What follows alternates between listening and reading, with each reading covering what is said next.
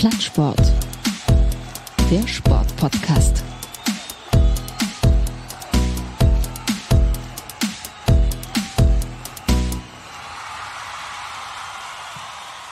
Hallo und herzlich willkommen zur 89. Folge Plattsport, der Sportpodcast. Mein Name ist Martin Tetzlaff und aus dem Sportpodcast machen wir heute endlich mal wieder einen Fußball-Podcast. Ähm, wir sprechen heute über einen der, äh, würde ich sagen, wichtigsten Vereine in Deutschland, äh, Traditionsverein, große Historie, vor allem in den 70er Jahren. Die Rede ist von Borussia Mönchengladbach. Borussia Mönchengladbach war in den 70er Jahren der Gegenspieler der Münchner Bayern, Gegenentwurf zum bajuwarischen Größenwahn um das Star-Ensemble um Beckenbauer, Müller und Meyer. Eher provinziell statt weltmännisch, torhungrig dank Hennes Weißweiler und ab den 80er Jahren dann etwas verblasst. In den 90ern erstmalig in die zweite Liga abgestiegen und 2011 rettete ein Schweizer namens Lucien Favre den Verein vor dem dritten Abstieg und dann startete allmählich der Turbo aus wirtschaftlicher Konsolidierung, einem neuen Stadion, was schon da stand äh, seit Anfang der Nullerjahre und dann kam noch der Manager Max Eberl hinzu, der sich über einen äh, ja, Charakterzug, würde ich es jetzt schon fast nennen, ähm, nämlich eine wahnsinnig clevere Transferpolitik auszeichnete.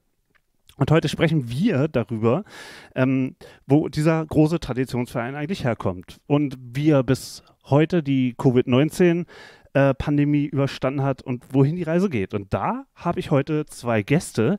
Der eine sitzt in den Niederlanden, der andere sitzt in Cambridge in Großbritannien, im Herz der europäischen Pandemie. Der eine ist Redakteur beim WDR, vor allem im Bereich Landespolitik NRW, nennt sich selbst diagonaler Klappentextwissenschaftler. Er ist bekannt durch den Eishockey-Podcast Shorthanded News. Nebenbei ist er Fan von Borussia Mönchengladbach und ich würde sagen, ein durchaus belesener Sport- und Fußballkenner. Hallo Christoph Ulrich. Hallo. Du bist in den Niederlanden im Urlaub. Wie ist es? Äh, ja, und deshalb äh, höre ich mich nicht so gut an. Es ist äh, gerade regnerisch. Ich sitze im Auto, äh, weil ich in dem kleinen Flat, wo wir sind, in dem Ferienpark, ich jetzt nicht irgendwie die Kinder aufwecken will. Und habe mich jetzt, wie gesagt, ins Auto verzogen. Ich hoffe nicht, dass jetzt wieder so ein Regenguss runterkommt, weil dann trommelt es gleich und die Stumpftaste muss die ganze Zeit gedrückt werden, wenn ich nicht rede. Aber ansonsten äh, es mir gut. Ist ja jetzt auch Corona-Hochinzidenzgebiet, weil man ja so clever war, der ungeimpften Bevölkerung zwischen 20 und 30 einfach zu sagen, so geht in Clubs. Ähm, ihr müsst aber vorher getestet sein. Die Tests gibt es übrigens nicht gratis und äh, deshalb haben die das gemacht, haben QR-Codes gefälscht, jetzt ist das hier explodiert. Also wenn ihr einen dummen Move in der Corona-Politik sucht, ihr werdet nicht zwingend in Großbritannien fündig. Aber in Großbritannien fündig wären wir bei dem zweiten Gast. Ähm, er ist Journalist, einst bei der Rheinischen Post, hat, äh, so wie mir jemand gesteckt hat, Biochemie studiert, ist später nach Edinburgh weiter. Heute ist er Wissenschaftsjournalist in Cambridge. Auch er, Mönchengladbacher durch und durch, er kennt auch, Zitat, jeden Stein in der Stadt, macht den Podcast Vollraute und auch den äh, Podcast Vollraute Abroad.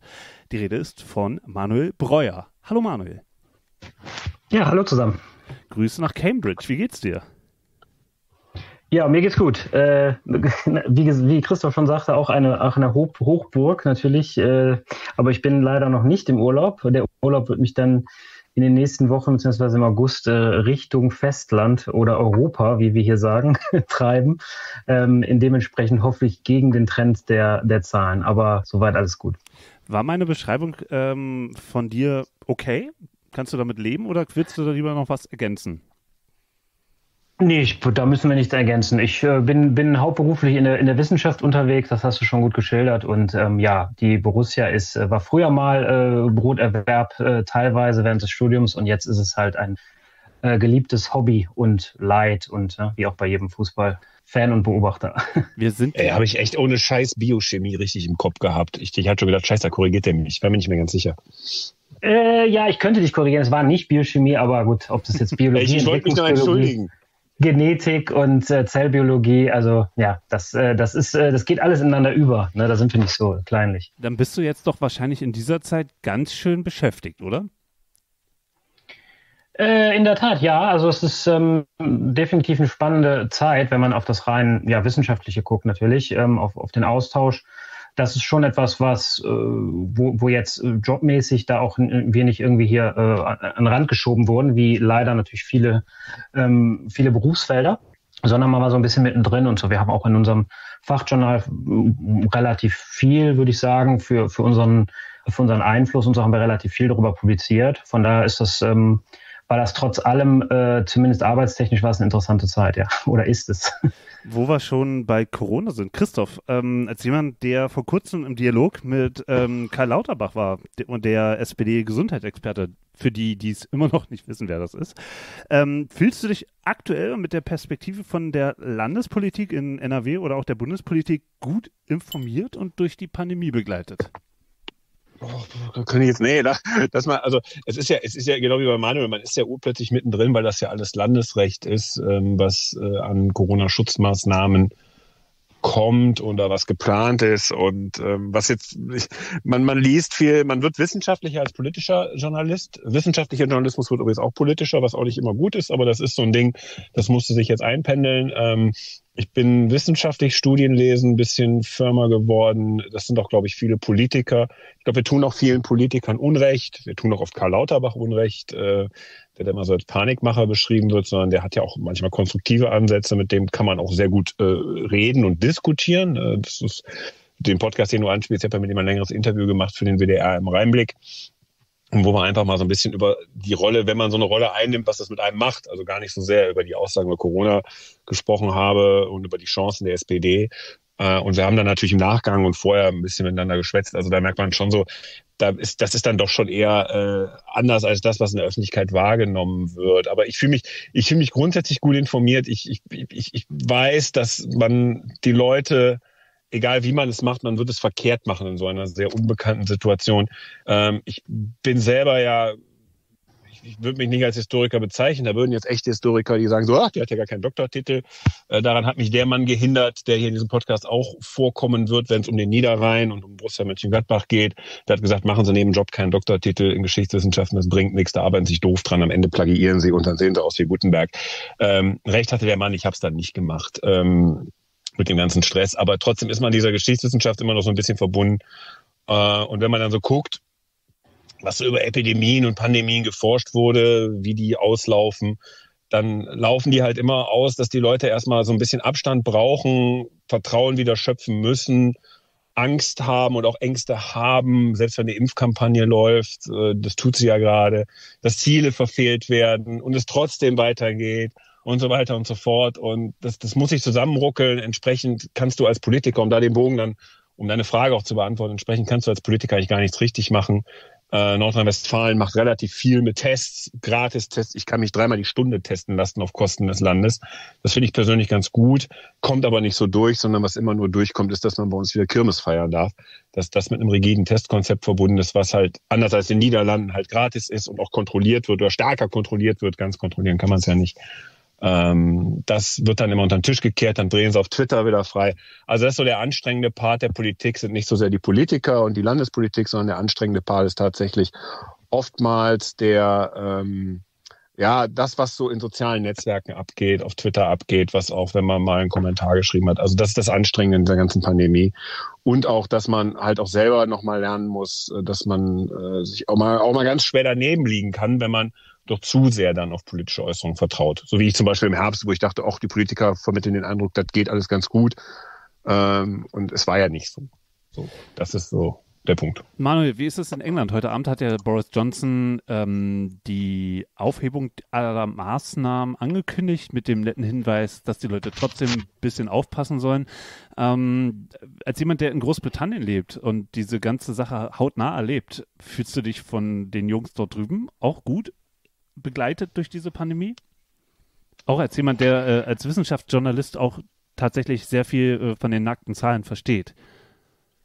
Äh, ja, äh, jein, wobei das, wobei das Nein da viel größer ist. Das ist auf äh, gewissen Ebenen fühle ich mich da wohl. Das ist vielleicht sogar eher die wissenschaftliche Ebene, auf die, die, die kommunikativ oder auch äh, gesellschaftliche, vor allem aber regierende Ebene definitiv nicht.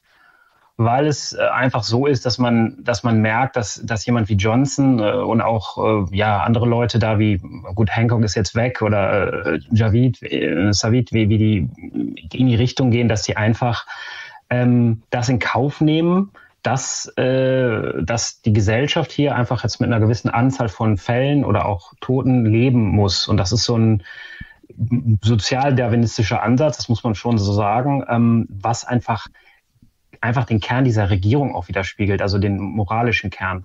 Ähm, ohne da jetzt zu weit auszuschweifen, aber ähm, viele Sachen sind pragmatisch, wie die Briten es halt sind und die Engländer es gerne sind, äh, werden so angegangen. Deswegen sind viele Entscheidungen, die vielleicht aus deutscher Sicht auch erstmal so, so Naserümpfen oder was, ne, wie sind, wie bekloppt sind die, wahrgenommen werden, sind vielleicht auf den zweiten Blick gar nicht so unvernünftig weil hier immer zuvor im Vordergrund steht oder stand, wie geht es voran, was machen wir als nächstes.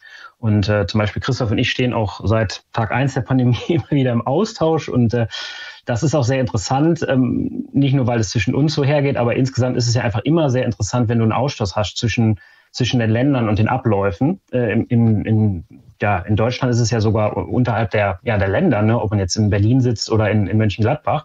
Äh, aber gerade zwischen Großbritannien und Deutschland die Unterschiede, wenn man dann noch die Niederlande mit reinnimmt, ist das immer eine interessante Diskussion zu sehen, welches Land macht was richtig und was falsch.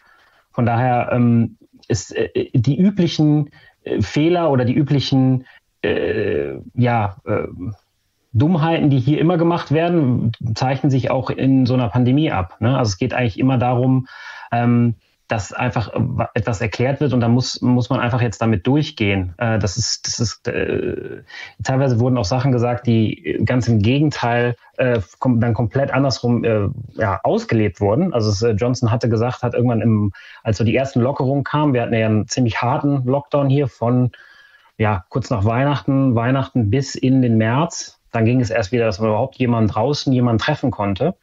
Ähm, drinnen gar nicht bis April etc. Also sehr, sehr hart. Dann ging es in die Richtung, ja, wir, wir gehen jetzt voran nach Daten und nicht nach Daten, also nach einem Datum. Ja, also ähm, äh, Data not Dates. Und äh, das wurde aber direkt umgekehrt. Dann ging es irgendwie nur noch um Daten. Und das ist so diese Fixierung dann auf, auf Sachen. Äh, Freedom Day wird jetzt der 19. Juli ge, äh, genannt das sind alles so Sachen, dass da wird die, dafür ist die Inzidenz beispielsweise in Großbritannien irgendwie gar nicht mehr so wichtig. Was jetzt, wie ich zumindest das miterlebe, Stand Mitte Juli, wird es jetzt in Deutschland, läuft diese Diskussion erst an. Von daher ist das immer interessant zu sehen, was so gemacht wird. Aber was Johnson und die Regierung angeht, ist es, geht es immer in die Richtung, ähm, womit können wir durchkommen, ohne uns, ohne uns großartig sich äh, ja irgendwie rechtfertigen zu müssen. Also das, äh, das äh, wird dann halt so durchgeflügt. Und das ist immer gerade so ein bisschen der Ansatz. Also gegen den, gegen das bessere Wissen auch, aber das ist jetzt so äh, der Satz, wir gehen voran, wir können uns als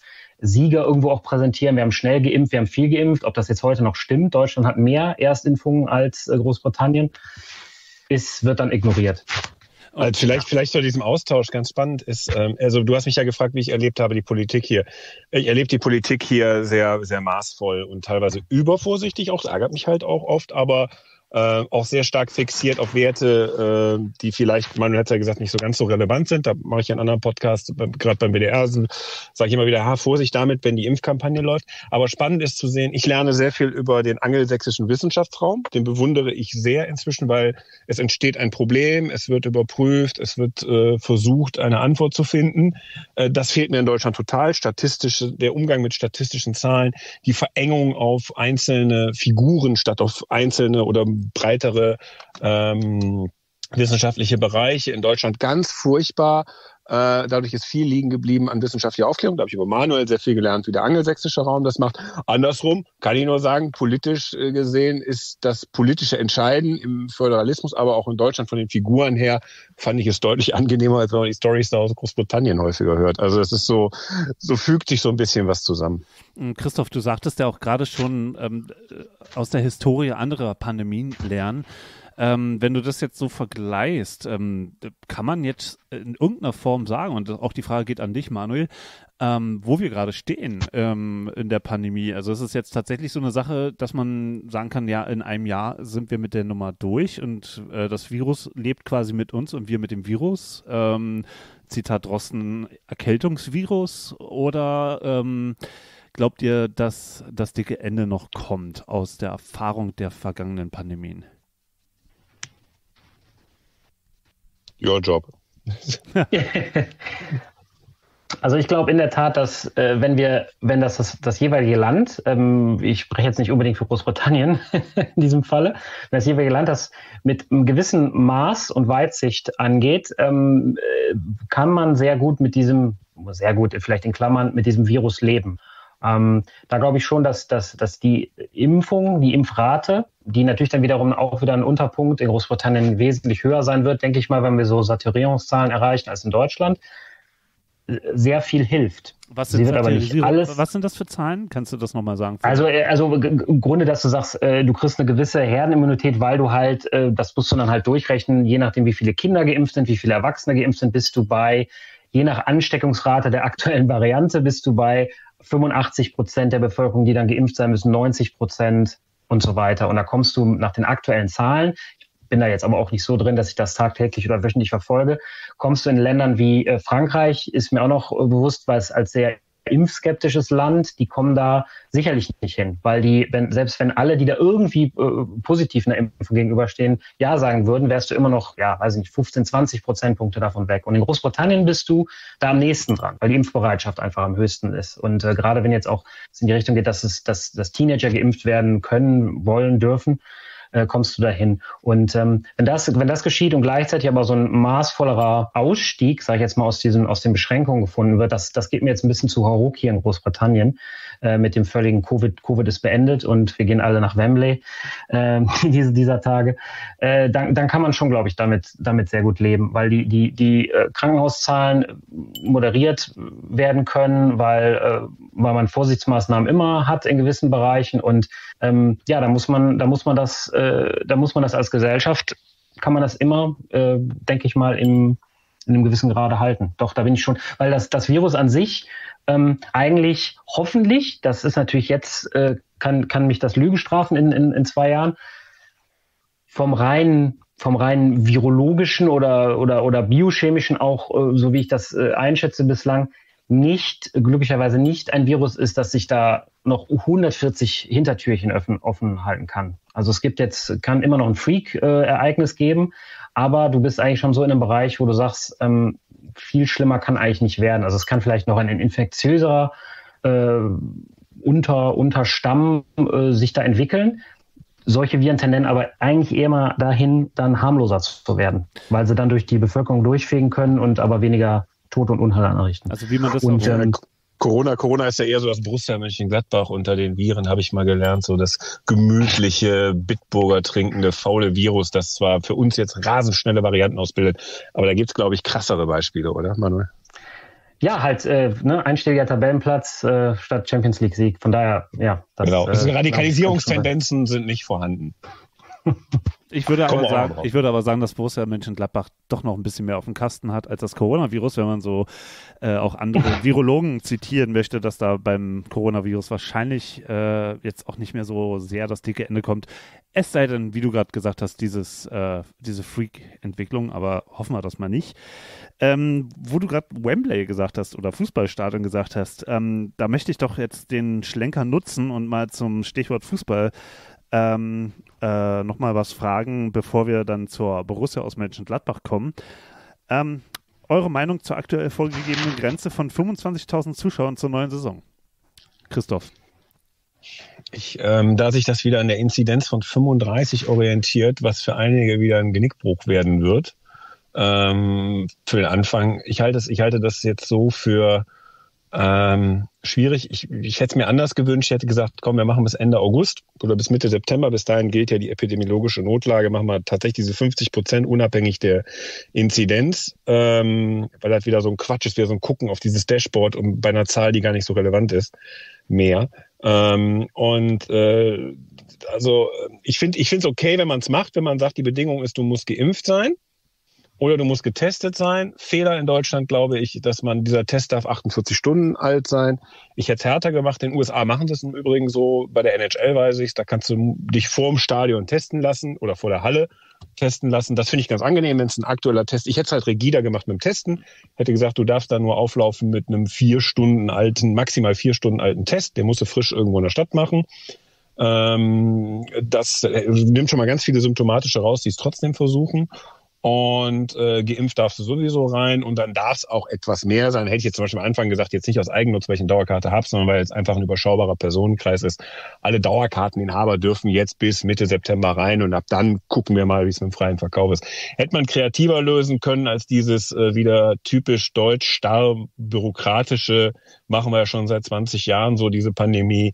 Das, das las ich alles etwas so, ja, der traut euch mehr. Und äh, ganz wichtig, in Deutschland, glaube ich, ist das Ende der Geisterspiele dann tatsächlich gekommen, weil 5000 dürfen auf jeden Fall rein. Das darf man ja nie vergessen. Muss ich heute schon wieder jemandem erklären. Zum Thema ähm, äh, Antigen-Test, von denen sprichst du jetzt. Also du redest jetzt nicht von PCR, der genommen wird und der erst nach vier Stunden sozusagen dann vorgelegt werden kann, sondern äh, ein vier Stunden alter Antigen-Test. Da kann ich jetzt ja, ja. aus meiner eigenen Erfahrung sagen, aus meiner eigenen Covid-Erkrankung im April. Äh, ein Antigen-Test kann noch immer äh, negativ tagelang anschlagen, ähm, aus meiner eigenen Erfahrung, obwohl ich schon schwere Symptome hatte ja, und ähm, damit Leute dann ins Stadion lassen, finde ich tatsächlich persönlich sehr fahrlässig. Ähm, ja also, gut, aber das ist ja, das ist ja diese alte Geschichte, das ist, du bist, du machst es dir jetzt auch wieder sehr deutsch. Da will man ja 100 Prozent der Infizierten finden, um die Pandemie in Kontrolle zu kriegen, brauchst du ja gar nicht. Aber es sind wieder Berechnungen und so weiter, das geht so weit. Also ich sag mal so, ein frischer Antigentest bei einem symptomlosen, äh, ich glaube, äh, da kann man sich gut drauf committen, das tut man aber nicht in der deutschen Politik. Aber gut, ich muss es nicht entscheiden. Hm. Und äh, in England, äh, wie war jetzt die, die äh, Regel in den äh, Spielen bei der Europameisterschaft? War es dann auch der Antigen-Test oder waren es dann nur Geimpfte und Genesene? Wie hat man es da gemacht? Ja, ja, äh, sehr ähnlich. Also es war halt entweder entweder doppelt geimpft, das geht ja mit der äh, NHS Gesundheitssystems App kann man kann man das halt äh, vorzeigen, ähm, idealerweise natürlich mit den mit 14 Tagen nach der Zweitimpfung oder ein äh, ein Test Antigen-Test ähm, 48 Stunden, vielleicht auch 72 sogar, auf jeden Fall 48 Stunden vorher, wie Christoph sagt, etwas viel Spielraum da. Ähm, ist zumindest äh, Medienberichten nach jetzt gerade bei den Halbfinal- und Finalspielen natürlich auch noch extrem gesteigert durch diesen England Hype jetzt in diesen beiden Spielen äh, anscheinend überhaupt nicht kontrolliert worden, überhaupt nicht beachtet worden. Also da war eher ähm, der Klassiker to Tore auf und, und, alle rein. Also es ist wohl ziemlich drunter und drüber gegangen. Ähm, dementsprechend kann man da auch mit ja, gewissen Zahlen rechnen. Ich würde aber mich, mich Christoph anschließen, was es in so einem, ähm, das, das beinhaltet ja noch einfach, dass, dass es ja in einem, in einem deutschen Rahmen geschieht, wo vielleicht auch dieser ja, Kontrollierdruck sehr hoch ist und äh, auch eine gewisse ja, Folgsamkeit dann kommt, wenn es ein Bundesligaspieltag ist, 0815, ähm, zumal es gut, äh, Saisondebüt ist vielleicht noch was anderes. Äh, wenn du halt eine Zahl, ob du jetzt 18 oder 25 hast, wenn du sagst, du musst impfen, du musst einen Test haben, äh, benehmt euch so und so, die absolute, den, das, absoluten, das absolute Ausschließen von Infektionsgefahr kriegst du halt nicht. Ich finde, es, es ist aber ein Rahmen, den man so äh, vorgeben könnte. Also ich würde mich da, ich würde mich da relativ äh, ja, sicher fühlen. Sicher ist vielleicht ein großes Wort, aber ich würde mich so fühlen, dass ich mir das Ereignis geben könnte. Also im Gegenteil zu, im Gegensatz zu Wembley. Also ich, ich hatte auch die Möglichkeit, zum Halbfinale zu gehen, auch zum, zum Spiel Deutschland gegen England.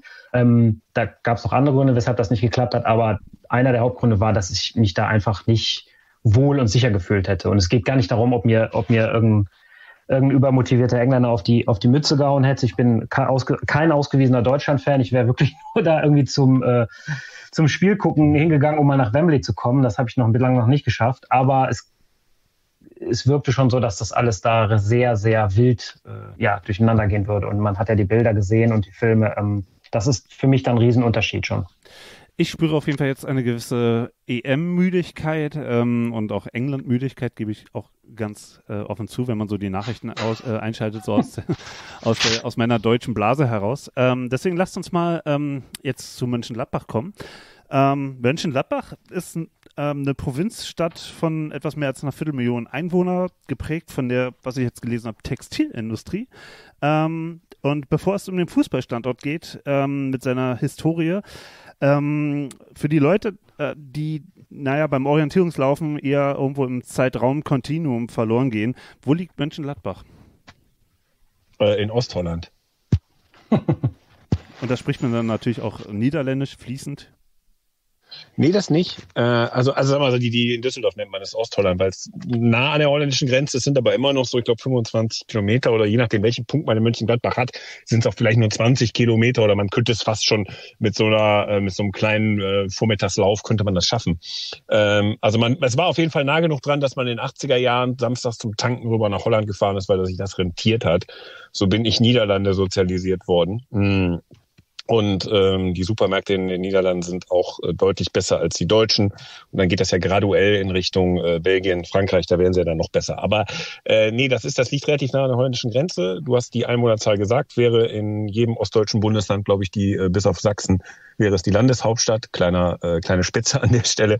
Ist aber Nordrhein-Westfalen bei der Dimension von NRW eine kleinere Stadt, auch so, so eine Randlagenstadt. Also äh, gibt nicht viel drumherum. Normalerweise ist ja Nordrhein-Westfalen Stadt von 300.000 oder paar hunderttausend Einwohnern, zack, direkt der nächste 100.000er nebenan, geht zueinander über. Das ist da nicht. Ähm, es sei denn, man macht Korschenbruch zu einer großen, heißen Metropole, wo Berti Vogts wohnt. Äh, aber nee, das ist nicht. Es ist halt eine Stadt, die hat geklärt, du hast es gesagt, die hat von Textilindustrie gelebt, ist dann irgendwann Bach runtergegangen, wie so vieles. Ähm, da viele Frauen betroffen waren bei dem Ausstieg, hat es landessubventionsmäßig damals nicht so viel gegeben. Das ist eine sehr spannende These von dem Historiker gewesen, von dem Christoph Nonn, Landeshistoriker, der sagt, was in der Textilindustrie, das hieß ja mal Klein Manchester, Mönchengladbach, auch Krefeld war eine sehr starke Textilstadt. Da wurde produziert, in Düsseldorf wurde es dann gezeigt, was produziert wurde. Als sich diese Fabriken so nach und nach äh, vom Acker machten, ähm, gehen äh, Fernost, äh, blieben halt sehr, sehr viele arbeitslose Näherinnen über. Das ist so das, äh, die, die Vorstufe zur Schleckerfrau. Und da ist halt eben nicht, wie jetzt beim Steinkohleausstieg, ein sehr lauter Protest gekommen, obwohl das in ähnlichen Dimensionen sich bewegte bei den Arbeitslosenzahlen. Äh, sondern das ist so stillschweigend gelaufen. Ist diese Industrie gestorben, dann ist nicht viel passiert, weil diese Stadt so eine Randlage hat und entsprechend hat Gladbach auch seine, ich würde sagen, sehr depressiven Momente, weil ich, weil, weil du seit eigentlich, du lebst eigentlich immer nur von, von Vergangenem. Das ist auch bei Borussia oft manchmal ein Problem weil das ja das einzige Moderne ist, was so ein bisschen nach vorne geht in der Stadt, wobei es jetzt ganz viele gute Entwicklungen gibt, äh, gerade auch was Bauland angeht, was Firmenansiedlung angeht, was den Kontakt zu anderen europäischen Ländern wie Belgien und den Niederlanden angeht. Aber Gladbach ist schon so ein bisschen so, ja, Provinz ist falsch, sondern es ist eher so ein bisschen so dieses, äh, dieser äh, traurige äh, Ort, der mehr könnte, aber nicht mehr will, weil er einfach von der Geschichte oder der Nachkriegsgeschichte nicht immer ganz gut begütert war. Dann ein ewiger Konflikt. Reit ist eine große Stadt, die ist in Mönchengladbach eingemeindet worden. In Mönchengladbach wirst du heute noch gefragt, bist du echter Gladbacher oder Reiter? Ähm, Na, naja, also. Du, du gehst ja ganz schön tief schon in die ganze Geschichte der Stadt. Ja, du hinein. wolltest ja jetzt eben das schnell wissen, das, das wollte ich jetzt nee, schnell wegfrühstücken. ich ich habe da eine Hörerfrage, die, die äh, mir eingespielt wurde und ähm, die würde ich euch gerne mal zeigen und vielleicht könnt ihr tatsächlich nochmal zu diesem Regionalen nochmal was Kleines sagen. Ähm, äh, vielleicht kennt ihr den nicht. Spiel es mal vor. Hört mal rein. Ja, hallo, hier ist der Bernd aus Düsseldorf. Ich habe da mal eine Hörerfrage. Wie kann es denn sein, dass die Mönchengladbacher Fans immer singen, die Nummer eins am Rhein sind wir, wenn der Rhein gar nicht durch Mönchengladbach fließt? Mönchengladbach liegt am Niederrhein und soweit ich weiß, fließt der Rhein nicht durch Mönchengladbach. Das würde mich mal interessieren, in welcher Schule diese Geografiekenntnisse gelehrt werden. So, das war der Bernd, der fragt euch, ähm, um es nochmal kurz zusammenzufassen, äh, Rhein, Niederrhein und wo wird das überhaupt gelehrt, dass die Gladbacher Fans singen, äh, die Nummer eins am Rhein sind wir. Wer möchte dazu Stellung nehmen? Ja, ich will erst mal sagen, dass Bernd Vincent Kruchen heißt, ein Teil der Shorthanded News ist und einen echten Nagel im Kopf hat. Aber jetzt kannst du antworten, Manuel. nee, ich, ich lasse dir den Vortritt, Christoph. Du bist, du bist hier der ähm, äh, Hobby, Hobby äh, Geologe und Geograf, von daher kannst du, Was? kannst du das auch mal dazu tun. ah, okay, vom, vom Hobbywissenschaftler zum, so, okay. Äh, nee, ähm, was weiß ich, es ist ein Niederrhein. Ja, ich weiß auch, ich habe ich hab da auch nichts mit dem Rhein. Das Siniers fließt da. Ich weiß es da auch nicht. Also Aber irgendjemand hat das Niederrhein genannt. Das ist ja dieser, dieser, was du hast ja mein Twitter-Profil anfangs, meine Beschreibung, dieser ausgesprochen diagonaler Klappentextwissenschaftler. Das ist ein Zitat vom, vom alten Hüsch, vom Hans, äh, Hans Günther oder Heinz Günther, Hans Günther Hüsch ähm, dem Kabarettisten, der gesagt hat, das ist der Niederrheiner, der liest den Klappentext noch nicht mal ganz, sondern nur diagonal, ja, dann, dann kann er sich auch mal um 50 Kilometer vertun, dass er rein bei ihm durchfließt. Mein Gott. Also, ähm, da werden wir wahrscheinlich nochmal bei den Shorthanded News in irgendeiner der kommenden Episoden vielleicht nochmal eine Aufklärung innerhalb äh, ja, des Podcasts nochmal hören, was das da eigentlich mit euren Geografiekenntnissen auf sich hat. Ähm, aber was ich zumindest. Also, also ich singe das nicht, weil am Rhein im, im Fußballkontext sind in der Regel äh, nur Vereine, die, die man grundsätzlich gar nicht braucht. Also ich, ich fange mal oben an, ne? So, nehmen, wir mal, nehmen wir mal Fortuna Düsseldorf, völlig überflüssig. Der erste FC Köln, ja, aktuell total überflüssig und Mainz 05 äh, gehört jetzt auch nicht zu meinen Favorites. Also insofern, äh, ja, äh, also die, äh, habe hab ich jemanden vergessen? Nee, aber den Sympathieorden hast du dir in diesem Podcast heute schon verdient. Ähm, unsere Freunde aus Mainz. Hallo, liebe Hinterhofsänger. Ähm, ja. ja, hallo Mara, grüß dich. genau. Ich Mainz überhaupt am Rhein? Nein, aber, aber jetzt nochmal zurück zu den Flüssen. Ähm, Mönchen, Gladbach, früher habe ich mal irgendwas gehört, München, Gladbach, dann sagt man manchmal nur, nur Gladbach. Äh, Gladbach klingt nach einem Bach. Äh, also nehmt doch mal dazu bitte seriös Stellung. Was ist das? Manuel. Ach so, ja, das, ja, das ist, äh, also es gibt, es gibt da, äh, das ist ähnlich wie, wie glaube ich, die Stadt München, wobei ich mir im Ausland immer die, die Verwechslung widerfahren ist, dass widerfahren ist, dass Mönchengladbach ein Stadtteil von München ist. Ich meine, das kennen wir wahrscheinlich alle äh, oder alle Gladbacher, die, die vielleicht jetzt zuhören. Aber ja, es gibt da halt, es geht da um die, um die Abtei und und die Mönche da und ähm, ja, damit halt am am Fluss äh, ein, eine Abtei zu gründen und äh, da, da kommt halt, äh, ja, kommt halt der, die, der Namensursprung kommt er ja und ähm, äh, die genauen Details, ich glaube, ich habe es mal in der Schule, Schule gelernt, wie sich das mit der Niers dann äh, ergeben hat. Der, der eigentliche Fluss ist ähm, so richtig kriege ich das jetzt ad hoc nicht hin. Aber äh, irgendwo, irgendwo da äh, kommt es her. Also ähm, Mönche, die das Wasser suchen quasi, ja, und, also, und, und ein bisschen was bauen. Also wenn du, es aus der, wenn du es aus der Schule nicht weißt, weiß ich es auch nicht, weil wir waren auf derselben Schule. Ähm, Tja, aber Problem. Tja, aber, Problem halt, ne? NRW, Abi und so weiter und so fort. Ihr kennt das Problem ähm, zu diesen Zeiten. Aber ähm, dieser, dieser Abteiberg ist tatsächlich, also da, wo die Abtei draufsteht, ist so ein Berg, der thront so über der Stadt. Dahinter ist die Innenstadt. Ich glaube, in Mönchengladbach dürfen aktuell die Clubs aufmachen. Ähm, das heißt, da kegeln auch aktuell wieder junge Leute im Alter äh, von 25 bis, ich sag mal, 14 runter. Haben wir alle schon gemacht, höchste Erhebung. Äh, diese Abtei ist, glaube ich, höher als der Böckelberg, äh, das alte Stadion von Borussia Mönchengladbach gelegen. Aber das ist halt so, ja, pff, das thront da halt so, ne? Und da waren halt Mönche. Ist es in äh, Mönchengladbach schon äh, greifbar urban oder doch eher so ein bisschen idyllisches kleines Städtchen mit ein bisschen mehr Einwohner? Äh, jetzt kommt dieser Berater, dieses, dieses Lebensberater-Podcast-Gelaber. Vom Mindset her ist das aber tiefstes Dorf, wo, wo man bei RWE vielleicht oft gefragt hat, kann man das nicht auch wegen der Braunkohle mal äh, nachgucken, ob da drunter was ist?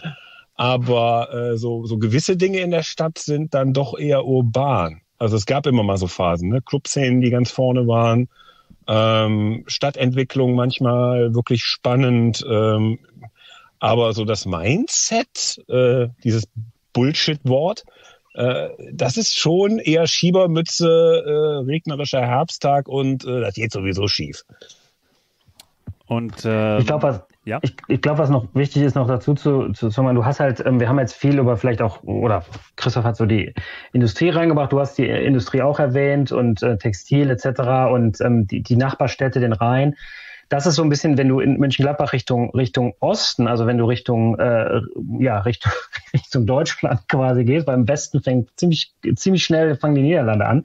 Ähm, wenn du also Richtung Neuss und dann Düsseldorf gehst oder vielleicht auch leicht südlich dann irgendwann Richtung Köln, ähm, bist, bist du ein bisschen eher im städtischen oder zumindest hast du, hast du städtische Strukturen. Ähm, Glad, Mönchengladbach bist du aber im, im Süden, bist du und im Westen und im Norden bist du relativ schnell in wirklich sehr, sehr ländlichen, bäuerlich geprägten Gebieten. Daher auch ein weiter, eine weitere fußballtechnische Beschimpfung, die Bauern, das ist äh, gut, das hebt man sich auch für Bayern München aus, habe ich mir sagen lassen, aber das ist halt, ähm, das ist halt auch Mönchengladbach, hört man oft, ähm, weil du halt wirklich sehr viel Landwirtschaft da noch hast. Ja, sowas, ne, sowas kommt alles, kann man jetzt hier sammeln. Äh, aber du hast im, du hast im Süden auch äh, Garzweiler, hast eine, Braunkohle oder einen Kohleabbau, wie Christoph schon mal erwähnt hatte. Äh, das, das geht auch alles so ein bisschen in das ähm, ja, Gefühl der Stadt rein. Ne? Also du hast, du hast dieses Länd oder dieses ländliche eigentlich wirklich so wie eine Uhr äh, drei Viertel rum und das eine Viertel, was eher städtisch ist, das streckt sich so Richtung Düsseldorf, weil das natürlich auch so eine Speckgürtelgeschichte dann ist mit dem erwähnten Korschenbruch. Und das ist auch alles so ein bisschen im, im, im Kopf drin, ne? wenn du, wenn du über, über Gladbach bist. Du kannst echt schön auch wirklich mit dem Fahrrad, wenn du, wenn du schon eher an der Stadtgrenze bist, wenn du dann Richtung Schwalmtal, Nettetal, das kann man mal nachgucken, das ist halt so der Nordwesten. Äh, ich habe da oben an den Kriekenbecker Seen, habe ich meinen Zivildienst gemacht. Das ist, da ist, eine biologische Station. Äh, das ist alles extrem, extrem dörflich, extrem ländlich und du kannst da sehr schön äh, radeln und bist dann wirklich auch direkt in den Niederlanden. Also es ist alles sehr, sehr grün und ähm, hat auch dann wirklich mit ähm, weiter nördlich mit dem mit dem Ruhrgebiet nichts zu tun, äh, wobei das ja auch immer, sage ich jetzt mal, falsche falsche Reputation hat, was das Grüne angeht. Aber äh, dieses dieses städtische, leicht städtische, wollen wir uns mal darauf einigen, vermisst sich halt auch mit sehr viel ähm, ländlichen und Landwirtschaft. Wobei das Spannende ist, dieses ländliche ist fast schon wieder urbanisiert, weil es für äh, zum Beispiel da, wo du jetzt deinen Zivildienst gemacht hast, wir haben ja mal drüber gesprochen, so, so untereinander, da sind jetzt Premium-Wanderwege. Da ist dieses Flachlandwandern in der äh, der deutsch-niederländischen äh, Grenzregion auch gemeinschaftlich gemacht worden. Du, du musst dann auch über Grenzen gehen. Ähm, das ist heiß begehrt, das ist in der Wanderszene total beliebt. Da kommen halt viele Städter hin, hat so ein, so ein bisschen so dieses, früher ging man im Sauerland wandern, jetzt gehen viele dahin. Ähm, viele Leute ziehen dahin. Es ist eine unwahrscheinliche äh, Neubauorientierung, weil die Immobilien sind bezahlbar. Wir werden jetzt mal gucken, wie sich das mit dem Homeoffice aus, äh, auszahlt für diese Region, die halt sehr schön ist. Die Stadt Mönchengladbach selber ist nicht besonders schön in der Breite Breite, aber so die Region drumherum ist sehr schön, zieht halt viele Leute an, die sagen, boah, kein Bock mehr in Düsseldorf da irgendwie für teuer Geld zu hausen, auf Miete. Ich baue mir ein Haus irgendwo im Kreis Heinsberg oder nördlich davon im Kreis Viersen von Mönchengladbach. Also da muss man mal gucken. Also da findet dann doch wieder eine Urbanisierung des Schönen statt, aber nicht, dass es den ländlichen Charakter verliert. Aber da laufen halt nicht nur Bauern rum, will ich einfach sagen. Also da läuft nicht jeder, der da wohnt, ist automatisch, äh, hat irgendwie sein Gehöft und äh, fährt mit dem Trecker samstags irgendwo die Rübenernte ein, bevor er zur Borussia geht. Äh, das, das, ist, das hat sich total gewandelt. Leider an der Stadt Mönchengladbach selber vorbei. Ähm, die Stadt das hattest du ja vorhin schon gesagt, oder das hatten wir auch jetzt schon lange festgestellt, ähm, wurde sehr durch die Textilindustrie äh, geprägt. Ich frage mich, wie sehr hat sie das und was hat sie für Menschen und für soziale Klassen damit äh, geschaffen? Ja, ich frage dich mal so andersrum. Wer ist, was macht denn der Präsident des Vereins heute aktuell? Ihr seid die Fans. Ich interessiere mich für den. Ja, du, du, du, Rolf Königs. Rolf Königs ist einer der größten Autositzehersteller, äh, Stoffhersteller, Stoffehersteller für Autositze. Ähm, ich glaube, die meisten von uns sitzen auf Stoff von ihm. Das lässt er irgendwo, der lässt er regional produzieren. Das heißt regional, der lässt er in der EU produzieren oder auch in China, je nachdem, wo der Bedarf ist. Aber diese, diese Textilgeschichte wirkt halt nach. Es gibt auch noch Textilfirmen in Mönchengladbach, so ist es nicht. Ähm, aber so, mir hat mal, mir hat mal, jetzt kommt ein fieser Name, lieber Manuel, für dich, Ulrich Reitz. So, äh, schüttelst hm. dich schon? Ja, ich, ich höre zu. Äh, Ulrich Reitz, das war mal so der heißeste Chefredakteur Deutschlands. Äh, bei der, bei der Watz war er, war Rheinischer Post Chefredakteur. Ich glaube auch zu der Zeit, als du da warst, oder? Der hat, ja, die, ja, DPA, der hat die DPA bei der Rheinischen Post rausgeschmissen, weil das braucht man nicht mehr bei der DPA. Äh, man braucht keine Agentur mehr, macht man alles selber. Ähm, zwei Jahre später war sie wieder drin und Ulrich Reitz weg. Ähm, aber Ulrich Reitz, der hat mir mal, der hat ein Buch ausgegeben über Heimat in Nordrhein-Westfalen. Und am Rande habe ich mit dem ein längeres Gespräch geführt und wir kamen so drauf, dass wir eigentlich eine, trotzdem eine gewisse Verbindung haben. Meine Großmutter hat für seine Mutter Kleidung geschneidert. Meine Großmutter hat sich selbstständig gemacht, nachdem sie aus der Textilindustrie raus war als Schneiderin. Und dann kam er so ins Gespräch. Der ist ja auch eine ganz andere Altersgeneration als ich. Der ist nochmal 15 Jahre drauf. Und ähm, wir haben mal so ein bisschen unterschieden zwischen Ruhrgebiet und kamen so ein bisschen auf diese mentalitätshistorische Ebene. Und das stimmt schon. Er sagte so dieses kleinbürgerliche, eher konservative das zeichnet Mönchengladbach aus. Äh, wir beide konnten auch unsere ähm, Anwerbungsversuche der Jungen Union beschreiben, die natürlich kommen, wenn du politisch interessierter junger Mensch bist. Die kommen da eher als im Ruhrgebiet, wo dann die SPD vor deiner Haustür klopft und sagt, willst du nicht? In meinem Fall habe ich gefragt, was äh, habe ich davon? Da kam dann als Antwort, sie wollen doch auch nach vorne kommen da war das Thema für mich dann erledigt und habe gesagt, geht doch weg. Das hat doch nichts mit Inhalt zu tun. Äh, andere haben da angebissen, sind da auch äh, pappen geblieben. Aber Ulrich Reitz hat gesagt, es war immer dieses kleinbürgerliche Milieu, Mönchengladbach, was sich vielleicht ein Stück weit zu bürgerlich sieht aufgrund der ähm, Tatsache, was sie wirklich an, an, an Kohle, an Einkünften haben. Sprich, äh, man macht sich, äh, man sieht sich gerne auf einer bürgerlicheren Ebene, als man eigentlich vom Verdienst her sein sollte. Das war so seine These. Ich fand das ganz spannend. Ich bin da noch unschlüssig. Ähm, was jedoch stimmt, ist so diese ähm, Lösungsorientiertheit. Ich habe jetzt dadurch durch meine ganzen Jahre in der Landespolitik gelernt, im Ruhrgebiet ist es eher so, dass man großen Institutionen sehr stark vertraut. Die Steinkohle AG, äh, Thyssen, RWE, ähm, auch, auch, auch, auch Volksparteien. Ne? Also das ist ja, ist ja so ein Ammärchen, dass da nur die SPD groß ist. Das ist auch die CDU groß im Ruhrgebiet. Nur die SPD war immer größer. Äh, das, das kippt gerade so ein bisschen. Und in, in dieser, dieser, dieser, ähm, in diesen Niederrhein, in diesen kleinen ländlichen war immer so dieses, ich habe ein Problem, ähm, ich möchte, dass mir dabei niemand hilft. Ich löse das für mich selber. So dieser, dieser äh, zwar sehr lösungsorientierte Ansatz, der aber immer empfänglich war für einen Staat, der sich zurückzieht so ein Stück weit, weil man will das Problem ja selber lösen. Man will ja niemandem zur Last fallen. Ähm, aber eigentlich, Christoph, Christoph, aber eigentlich finde ich, also gerade auch so, wenn ich jetzt hier in Berlin aus dem Fenster schaue, die Leute sehe, die eigentlich immer da, darauf warten, dass der Staat quasi irgendwas für sie macht, der ihnen irgendwas geben soll, von dem sie aber immer wieder auch irgendwas fordern, wenn es zum Beispiel um Geld geht. Mhm. Ähm, also immer derselbe Staat, der gibt und nimmt, aber hier tendenziell eher die Haltung, naja, helft mir mal ja, ähm, und dann tatsächlich. Ähm ja, jetzt, das ist ja die alte Debatte. Jetzt findest du das wahrscheinlich wieder sympathischer, was da dieses Kleinbürgerliche, wenn du da groß wirst. Ich fand es teilweise problematisch, weil es halt auch immer wieder so ein ähm, es schicken sich dann halt gewisse Sachen nicht. Also ich, mein Beruf ist schon ist schon eine Provokation, wo das ein Job ist, den man durchaus anstreben kann. Ähm, dass dass dass äh, man, man man man bleibt in seiner Community. Man man man man man strebt nicht nach höherem, sondern man versucht für die Allgemeinheit selber zu lösen. Also es gab so so muffig, weiß weiß ich so. Das ist so immer dieses mhm. ja klar lösungsorientiert prima, aber äh, in gewissen Weisen äh, kann man auch aus seinem Muff ausbrechen.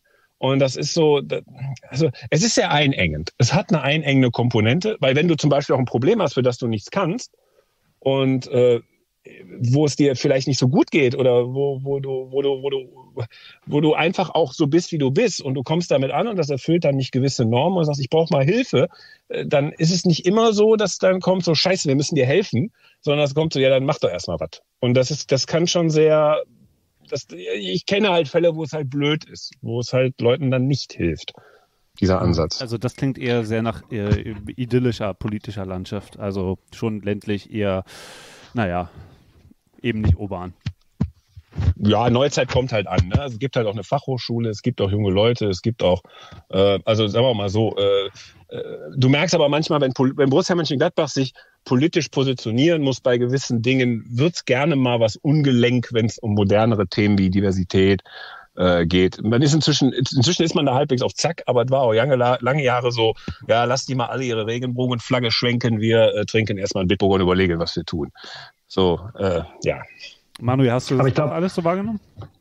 Äh, ja, ich glaube, also Christoph hat natürlich da aus, aus der ersten Nähe und auch beruflich einen, einen sehr viel, sehr viel geschulteren Blick drauf, aber ich, ich kann das äh, vielleicht untermauern mit, ja, letztendlich sind natürlich anekdotische Geschichten oder Beobachtungen, aber ähm, ich, ich glaube, dieses Muffige beschreibt das schon ganz gut und ähm, am Anfang, als er, als er von, von Mönchengladbach vom Zentrum, auch von der Altstadt gesprochen hat, das war natürlich eine gewisse, in den Ende der 70er, in den 80er war eine gewisse, ja, Kreativität und vielleicht auch, ja, so eine, so eine, so eine lebensfrohe, ähm, ja, Partyszene da, dass die bekanntermaßen damals auch über Gladbach hinweg ausstrahlte, eine gewisse, eine gewisse Aura hatte.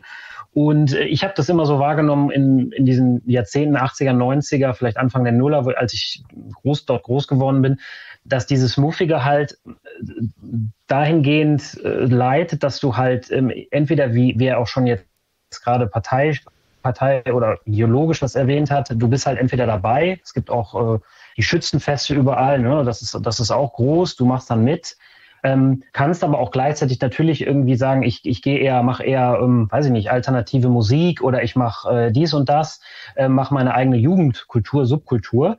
Das wird, gibt's auch Bühnen vor, wird toleriert, aber das ist von meiner Warnung her immer weiter vertrocknet, weil es, weil es, weil es, weil es strukturell auch nicht wirklich gefördert ist. Wenn dann die 10, 15 Leute, wie das halt ist mit so Subkulturen, wenn die, wenn die halt weggehen, dann, dann entsteht halt nichts mehr. Und ich glaube, äh, was ich zumindest aus der Ferne wahrgenommen habe, ist jetzt so seit den, seit den Zehnerjahren versucht, wird da punktuell versucht, so auch über die, über die, über die Fachhochschule ähm, generell so Löcher zu stopfen, die so in 20, 30 Jahren, in denen man das hätte, eigentlich hätte kontinuierlich verfolgen müssen. Aber aufgrund fehlender Progressivität ist das alles so ein bisschen ausgetrocknet. Und jetzt versucht man das so äh, ja, nachzuflicken. Und das gelingt hier und da, aber es ist alles noch sehr mühsam. Aber es, aber es passieren einige Sachen, ja ich will jetzt, also ich will das jetzt, äh, das ist jetzt so ein Ding, jetzt, jetzt weiß ich nämlich wieder ganz viele Leute, wenn sie es hören werden, die mich, die mich auch persönlich ankennen, sagen, jetzt machst du deine Stadt wieder schlechter, als sie ist. Und, und auch an einer Stelle immer einen Punkt haben, den du gerade erwähnt hast, Manuel, ist diese, ähm, durch die, du, du bist halt durch einen Schützenverein, du bist durch die, durch die, durch die CDU, du bist durch deinen Amateurfußballverein, weil machen wir uns nichts vor, durch Borussia Mönchengladbach hast du auch eine sehr starke Amateurfußballszene, die zwar auch kleiner wird, muss man auch traurigerweise sagen, Vereinssterben gibt es auch in Mönchengladbach, aber die halt sehr für so eine Stadt von der Größenordnung äh, wir haben das mal gezählt, äh, fast so viele Clubs hat oder in der Relation sogar mehr Clubs hat als eine Stadt wie Düsseldorf. Ähm, aber ähm, du hast natürlich dadurch, dass du so diesen Reibungspunkt hast, dass alle da irgendwie mitlaufen, bei Schützenfest, bei, sei es TDU, sei es beim Fußballverein, sei es Heimatverein, was auch immer, hast natürlich die Möglichkeit, progressive Räume zu durchstoßen. Dann ist die Stadt wieder viel zu groß, um äh, dich, dich so stark auszugrenzen, dass du keine Teilhabe mehr hast.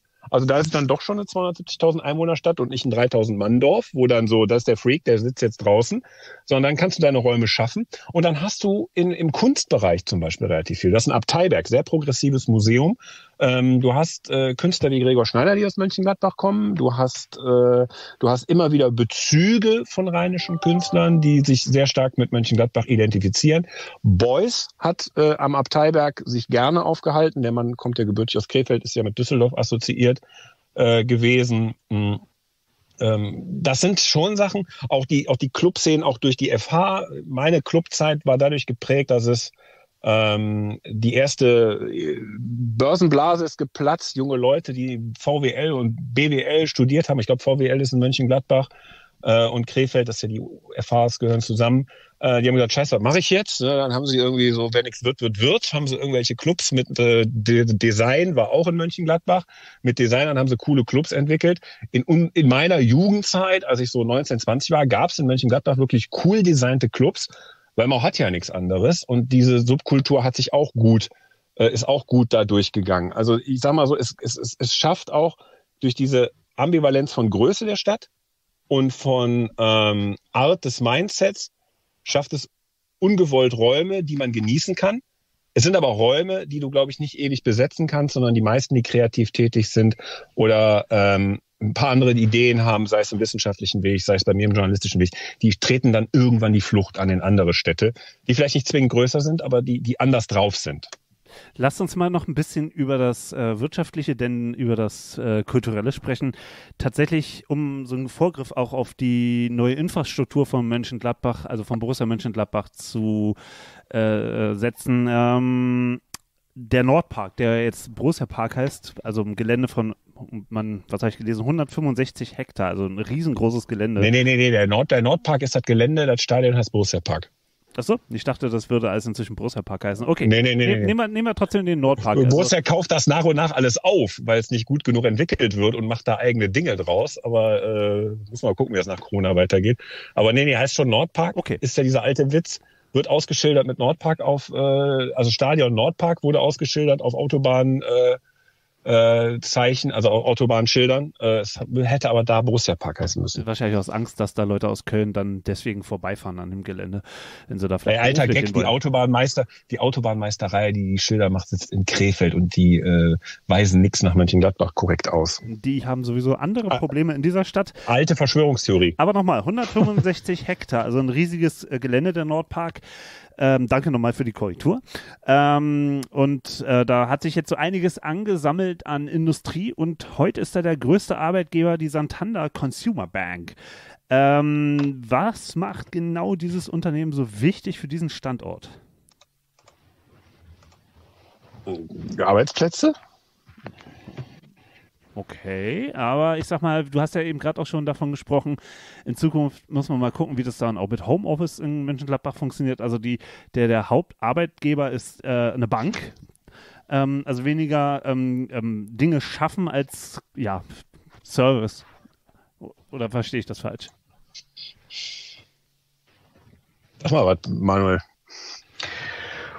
Also äh, ich bin, ich bin, was, was diese Entwicklung angeht, das habe ich, glaube ich, angedeutet, bin ich, äh, bin ich in so einer echt extrem externen äh, Beobachterrolle. Da äh, ich nehme diese Wachen wahr, Santander wäre mir auch direkt eingefallen, wie du das auch erwähnt hast, aber wie sich das dann konkret langfristig auf die Stadt Mönchengladbach auswirkt, dann ähm, Tja, da bin ich doch ein bisschen weit weg, muss ich sagen. Also das, ich sehe das im täglichen, im täglichen Leben ja dann nicht oder ähm, ne, auch in vielleicht in, in, der lokalen Entwicklung. Also man, man nimmt Sachen wahr oder, oder, oder kriegt man was mit, aber das ist wirklich so bei mir äh, alle Jubeljahre. Ähm, also ich könnte jetzt auch nicht sagen, inwiefern äh, die, die ursprünglichen großen äh, Firmen äh, in Mönchengladbach, so, weiß ich nicht, äh, ne, diese ganzen äh, Scheib und Bachmann und Trütschler gab es ganz früher, wie die so, ähm, wie sich so die in den letzten 20, 30 Jahren insgesamt äh, geschlagen haben. Von daher bin ich da genauso muss ich sagen, überfragt, was die wirtschaftlich angeht, was wirklich Santander für ja, aber dann, dann möchte ich die Frage Du darfst dir Santander ja nicht vorstellen, als da steht ein riesen Hochhaus und da sitzen tausende von Santander-Mitarbeitern drin. Das sagt, also es sagt eher was aus darüber, dass Santander das ist, die Bank, weil sie ist halt da, sie hat da ihren Sitz. Äh, aber äh, es ist die, die, die sind da, die klar, die sponsern die Jugendabteilung von Borussia, aber äh, die sind da nicht, das ist da kein Platzhirsch, wie das jetzt früher so, da steht jetzt eine Riesenfabrik und da sitzen zehntausende Leute drin. Also okay, Dimensionen okay. sind okay. Das ist viel diversifizierter, als äh, das klingt. Anders gefragt, also wie geräuschvoll war dann der, der Wechsel vom handwerklichen äh, Mönchengladbach hin zu so einem Service Mönchengladbach. Nee, es gibt ja, es, es gibt ja diesen Wechsel nicht. Das wollte ich ja gerade sagen. Ich, diesen, diesen Wechsel gibt's nicht. Also äh, es gibt immer noch, Mönchengladbach ist, ist, ist, hast, du hast immer noch viele Handwerksbetriebe, du hast große Elektrobetriebe. Also kannst im ganzen Rheinland unterwegs sein und irgendeine eine Mönchengladbacher Handwerksfirma oder in Mönchengladbach gegründete Handwerksfirma läuft dir äh, über den Weg. Ich nenne jetzt keine Namen, weil das dann ins Familiäre reingeht. Und für die mache ich keine Schleichwerbung, das gehört sich einfach nicht. Äh, so, ich habe keine Probleme mit denen, aber es gehört sich einfach nicht. Aber es ist immer noch eher ein, ähm, ein, ein, ein, ein so, ein Handwerksbetrieb hat halt ein, ein paar Mitarbeiter. Ein Elektrobetrieb hat ein paar hundert, ein Gaswasser Scheiße, also Sanitärheizung. Die haben 20, 30 Leute, da gibt's ganz, ganz viele in der Stadt, das verteilt sich. Ja, dann bist du halt schon mal mit ein paar hundert oder knapp über tausend oder was weiß ich, äh, Mitarbeitern bist halt schon mal schnell der größte Betrieb. Aber das ist ein Wechsel hin zu diesem ähm, für diesen Consumer-Gegebenheiten Mönchengladbach, das sehe ich nicht. Es wird halt immer noch viel gemacht. Es ist halt sehr, ja, kleinkrämerisch halt, ne? So kleine Betriebe und dann kommt ein großer Platzhirsch hin. Äh, nehmen wir mal an, Borussia Mönchengladbach wird irgendwann mal so groß wie Bayern München, dann stelle ich einfach mal die Sinnfrage, wer äh, ist dann der größere Arbeitgeber? Tja, das äh, werden wir dann sehen, aber noch ist es nicht so weit. Und Stichwort Borussia Mönchengladbach, ähm, lasst uns doch jetzt mal über den Verein sprechen. Ähm, war ja ein, ein, kurzes Intro, wie erwartet. Ähm, Borussia Mönchengladbach 1900 als FK Borussia gegründet. Ähm, und 1965 in die Bundesliga aufgestiegen. So viel erfährt man nicht. Also was man auch so in den Statistiken sieht, so aus den 50er, 60er Jahren, ja, ähm, haut einen jetzt noch nicht so richtig äh, vom Hocker. Ähm, könnt ihr da vielleicht doch ein bisschen mehr äh, über die ersten 65 Jahre verraten? Was ich wissen muss. Manuel. Ja, also ich würde sagen, dass äh, in, den, in den ersten ja, 50, 60 äh, Jahren muss, muss man, wie halt auch der, der Fußball auch in vielen Bereichen, weil das ist jetzt nicht unbedingt was Gladbach-typisches, ähm, gab es halt, gab's halt andere Vereine, die die Platzhirsche waren. Also in, in, in Mönchengladbach ist das auch in, in, in der Nachkriegszeit noch der heute leider ja fast bis zur Unkenntlichkeit verblichene Reiter SV, der ähm, der einfach auch über viele Jahre die Nummer eins war. Und ähm, ja, Borussia gab es halt ähm, ja in der, in, der, in der Oberliga dann und ähm, ja, oder äh, zweite Liga West etc. Ähm, letzten Endes äh, gibt's halt dann, gibt's halt so das erste Aufflammen, das auch, das auch dann überregional wahrgenommen wird, war halt der, war halt der Pokalsieg 1960. Ähm, ausgerechnet dann auch gegen, äh, gegen, gegen Köln. Ähm, und dann geht's, ähm, dann geht's halt, ähm, also das ist, das ist dann noch erst der, der westdeutsche Pokalsieg, ne? Und dann äh, etc. gibt's dann geht's dann nachher noch Richtung Richtung Pokalsieg. Ähm, und in den in den in den nach äh, ja in diesen in diesen Jahren danach, die dann halt auch Richtung Bundesliga gehen, ist es ähm, wie, wie ich das auch immer wahrgenommen habe, ist halt auch extrem viel dann ähm, richtige, richtige Leute zum richtigen Zeitpunkt zu haben. Ja, dass du also nicht, ähm, du hast halt keine, du hast halt keine äh, zwangsweise ähm, äh, ja, Konzentrierung auf einen Verein wie Mönchengladbach, weil es deine einzige Wahl war, sondern ähm, wie sich dann auch durch die, kommen wir vielleicht später zu, durch die, über die späteren Jahrzehnte von, von Gladbach dieser rote Faden zieht, dass es, dass, dass wenn Fehler gemacht werden, geht's geht's ziemlich schnell bergab, weil einfach diese strukturelle Überlegenheit nicht da war und nicht da ist für den Club, dass es halt, dass es halt irgendwie ein Selbstläufer wird oder dass vielleicht auch für andere, wie für andere Bundesligisten, dass es eigentlich immer nur diesen Weg gab in diese, in diese Richtung zu den Top 20 oder Top 10 oder vielleicht auch Top 30 Clubs in, in Deutschland zu gehören, sondern ähm, es kam dann irgendwo äh, in, in dieser Zeit ging es, ging es halt dann mit der Personale äh, Weißweiler weiter. Ne? Und ähm, auch, auch ähm, ja, Grashoff letzten Endes, das, das geht dann schon alles in die, in die 70er eher. Aber das sind so, das sind so ein bisschen die ersten Jahrzehnte, wo Gladbach oder Borussia Mönchengladbach ähm, aus dem Schatten der, der eigentlich viel ähm, organisierteren und viel strukturell auch stärkeren Nachbarvereine hervorgeht.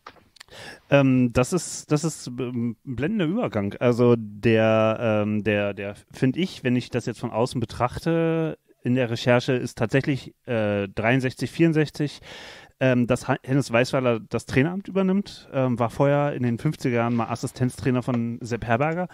Und ähm, ja, Könnt ihr das zusammen? Kommen dieser ganzen magischen Elemente, Spieler, Trainer und Zeitgeist so ein bisschen beschreiben? Also Ende Ach, der, Mitte der 60er Jahre? Da ist ja viel Glück dabei gewesen. Das darfst du ja auch nicht vergessen. Also das spielt ja nicht nur, du hast ja nicht nur ähm, Weißweiler, der ja auch nur in Gladbach, der war ja mal beim Reiter Spielverein vorher, ne? Nochmal angehend daran, dass der Reiter Spielverein, der Spö, wie er in Mönchengladbach heißt, heute glaube ich jetzt eine Bezirksliga, ich will ja nichts Unrechtes tun. Ähm, dass die, ähm, dass die Nummer eins waren, da war er mal. Ähm, aber der ist eigentlich Kölner, der Hennes Weißweiler. Das ist ja der, der, der Witz. Und äh, die Rivalität gründet sich ja auch darauf, so ein bisschen zwischen dem FC Köln, dass Weißweiler Niederlagen gegen FC Köln höchstpersönlich genommen hat. Und er ist in Köln einfach zu dem Zeitpunkt einfach nicht mehr so äh, war ein sehr eitler Kerl auch, ne? Also und, und, und ist dann auch nicht mehr so wertgeschätzt worden, ist dann in Gladbach gelandet. Günther Netzer, äh, der hatte schon bei Fortuna Düsseldorf, weil der stand ja schon im Wort äh, also vom FC Mönchengladbach, auch so ein sehr guter äh, Verein, der sehr viel Nachwuchs ausgebildet hat in diesen Jahren. Ähm, da war der Netzer schon dem Weg nach Düsseldorf. Da haben die Düsseldorfer, was sie halt häufiger tun, im seriös, lieber ein Bier getrunken oder was weiß ich, warum die sich nicht gemeldet haben. Da haben die sich aber nicht final gemeldet. Und dadurch konnte man, konnten die Vertreter von Borussia Mönchengladbach in die Lücke stoßen und haben Günter Netzer für Borussia Mönchengladbach bekommen. Ähm, dass in deinem Umfeld der Stadt Mönchengladbach so herausragende Talente urplötzlich geboren sind, ich nenne jetzt mal Job Heinkes, der ist aus Mönchengladbach, ähm, dass der, der auch eine Schleife erstmal über Hannover ging, ja auch erstmal im eigenen Land nichts galt, ähm, dass du, dass du so eine Koinzidenz hast mit sehr vielen regionalen Talenten, einem Top-Trainer, einem Übertalent aus der Stadt Mönchengladbach, das aber eigentlich gar nicht für Mönchengladbach spielen wollte erst oder für Borussia erst spielen wollte. Äh, diese Zufälle, diese historischen, die hast du. Und insofern ist jetzt am Anfang, klar, ist das eine Mannschaft, die dann irgendwo äh, wenn du Fußball-Nerds soziodemografisch korrekt aufgestellt äh, nach Altersgruppen fragst, was sind denn so in den Nachkriegsjahren die besten Fuß- oder prägendsten Fußballmannschaften, dann kommen die auch in den Top 50 auf Borussia Mönchengladbach wegen der 70er Jahre. Und die Geschichte sollten wir jetzt auch nicht so, so ganz aufrollen. Ich glaube, die, die, die kennen die meisten Leute, dass das mal ein prägender Club war. Ähm, aber so dass das dazu gekommen ist, äh, wir sollten uns nichts vormachen. Da kommt auch sehr, sehr viel Zufall, spielt da auch eine Rolle. Ähm, es ist halt nicht am Reißbrett entstanden und da waren geniale Leute am Werk, sondern da war einfach das Glück, am richtigen Zeitpunkt zum richtigen Ort, also am richtigen Ort zum richtigen Zeitpunkt zu sein, spielte natürlich auch eine Rolle. Ich würde aber trotzdem sagen, Weißweiler als Trainer Ausnahmetalent und äh, ich glaube Anfang der 70er, Ende der 60er war er auch. Nee, nee, ich sage ja nur, dass der, in der, dass der in Gladbach gelandet ist, ist jetzt nicht so das ist ein sehr interessanter Weg halt. Ne? Also der hätte auch, wenn die in Köln gesagt hätten, du, du bist der beste Mann, äh, hören, äh, wenn wir jetzt in die Bundesliga gehen, dann nehmen wir dich, ne? dann, dann wäre er nie in Gladbach gelandet. Ist er aber und äh, deswegen ist es halt eben auch sehr interessant, ähm, was, was ihn so ausmacht. Also ähm, Netz hat ihn ja mal als extrem starrsinnig beschrieben, wegen seiner sehr, sehr offensiven äh, oder er hat, nee, nicht als starrsinnig ähm, beschrieben, so würde ich jetzt fragen, war er zu starrsinnig, weil er so sehr an seinem offensiven Konzept äh, gehangen hat. Ähm, wie, wie kann man ihn im Nachhinein ähm, ja, bewerten, gerade was, was auch seine Eigenwilligkeit, im, im positiven Sinn auch eigenwillig, ne? also äh, ist jetzt nicht immer nur negativ. Ähm, ja, wie würdet ihr ihn heute sehen, Manuel? Ja, interessanter Punkt. Ich glaube, dass deshalb äh, hätte ich mir immer mal gewünscht, dass ich zu der Zeit schon irgendwie äh, denk, denkend oder überhaupt äh, geboren unterwegs äh, gewesen wäre, um das so äh, mitzuerleben. Was, was klar ist, ist nicht äh, wie jetzt in den letzten Jahrzehnten oder im, im letzten Jahrzehnt vor allem äh, populär gewordene, ja, äh, wie sagt man, äh, Mensch, Menschenflüsterer, ne? Oder wird jetzt gesagt über die über den neuen Trainer? Also ähm, ich, ich glaube, das war nicht. Also äh, war schon war schon recht ähm, recht äh, kauziger und und äh, ja herrischer Typ, ähm, der aber, und da, da bin ich voll bei Christoph bei, als er, als er einmal da war, ähm, dann halt mit diesen Ausnahmetalenten und mit seiner Art wirklich, wirklich, ja, äh, attackierenden Fußball zu spielen. Und natürlich war dann äh, Netzer, weil der Name schon öfters fiel, war einfach mit seiner Art Fußball zu spielen vielen, vielen Mannschaften überlegen, weil er halt einfach über 40, 50 Meter halt diese diese vorbereitenden Bälle spielen konnte, gleichzeitig aber noch Torgefälligkeit hatte, so dass da einfach eine Mannschaft war, die äh, die, der es völlig egal war, äh, ne, ob es drei Gegentore gab. Sie haben halt angegriffen, haben halt extrem viele Spiele gehabt mit extrem hohen äh, Torbeteiligungen. Und ähm, das, das war halt so, also das ist irgendwie so dieses, äh, heute würde man sagen, das ist halt, das ist halt richtig super, wie der das äh, schafft, seine Taktik da auf den Platz zu bringen und gleichzeitig die individuellen Freiheiten. Ähm, wobei das natürlich ganz lustig ist, wenn man sich Videos von dieser Zeit anguckt, wie viel da, ja, wie viel da wirklich taktisch im Detail gearbeitet wurde. Das ist natürlich wesentlich weniger, als du jetzt in den, ja, in der hochprofessionellen Fußballwelt in den letzten 10, 15 Jahren oder letzten 20 Jahren hattest. Ähm, aber es passte dann halt, halt auch genau mit diesen Spielern lange Zeit. Aber, und das ist dann so, ähm, was dann irgendwann so am, am, am Horizont auftauchte, dass das Ende davon war dann halt einfach auch damit, dass du mit diesem, mit dieser Generation oder anderthalb Generationen, das, das war halt dieser Kern und das war halt keine strukturelle Sache, dass du das einfach immer wieder weiter fortsetzen konntest und immer wieder drei, vier neue Top-Leute reinkamen, ähm, sondern es lag einfach an, an einem, ja, an diesen acht oder zehn Jahren, wo einfach ähm, richtig guter Offensivfußball oder richtig, richtig ähm, aggressiver Fußball nach vorne gespielt wurde, ähm, der, der dann einfach genau passte zu der Zeit. Ich, ich, das wären heute große Pressingmaschinen wahrscheinlich. Ich will, wenn ich, wenn ich darf, einen, einen Satz zu, zu, zu, zu Weißweiler noch sagen, weil der ja oft als so ähm, schnell beleidigt, äh, umgekehrter Narzisst. Ne? Man sagt nicht Danke genug zu mir.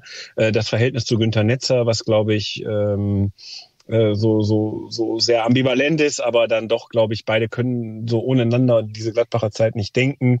Äh, als Günther Netzer eine Kneipe aufgemacht hatte, äh, Lovers Lane, in, in, in eine Diskothek, äh, womit er sich verdingte, damit er nebenher noch ein bisschen mehr Geld verdient, weil Gladbach halt auch nicht so viel bezahlt hat. Er hat ja auch das Fohlen-Echo, das Stadionmagazin äh, erfinden dürfen, damit er noch Nebeneinkunft hat. Ähm, Netzer, da hat der, der Weißweiler gesagt, das ist das Ende. Also so Weißweiler wird ja immer so als knochiger, äh, dann, dann am Ende doch sehr konservativer Mensch beschrieben. Aber es gibt halt so ein paar Anekdoten, wo man sagt, naja, nicht so ganz. Also zum Beispiel vor dem ersten Meistertitel 69, 70 oder um die Zeit hat die Mannschaft ihm auch versucht zu erklären, du musst schon ein bisschen auch Defensive äh, mit einbeziehen, sonst gehen wir immer wieder in den entscheidenden Momenten unter, dass jemand so wie Netzer sich frei bewegen durfte ähm, und am Ende es sogar so so eine Beleidigkeit bei bei Weißweiler gab, als Netzer dann gegen Spanien sich verabschiedete.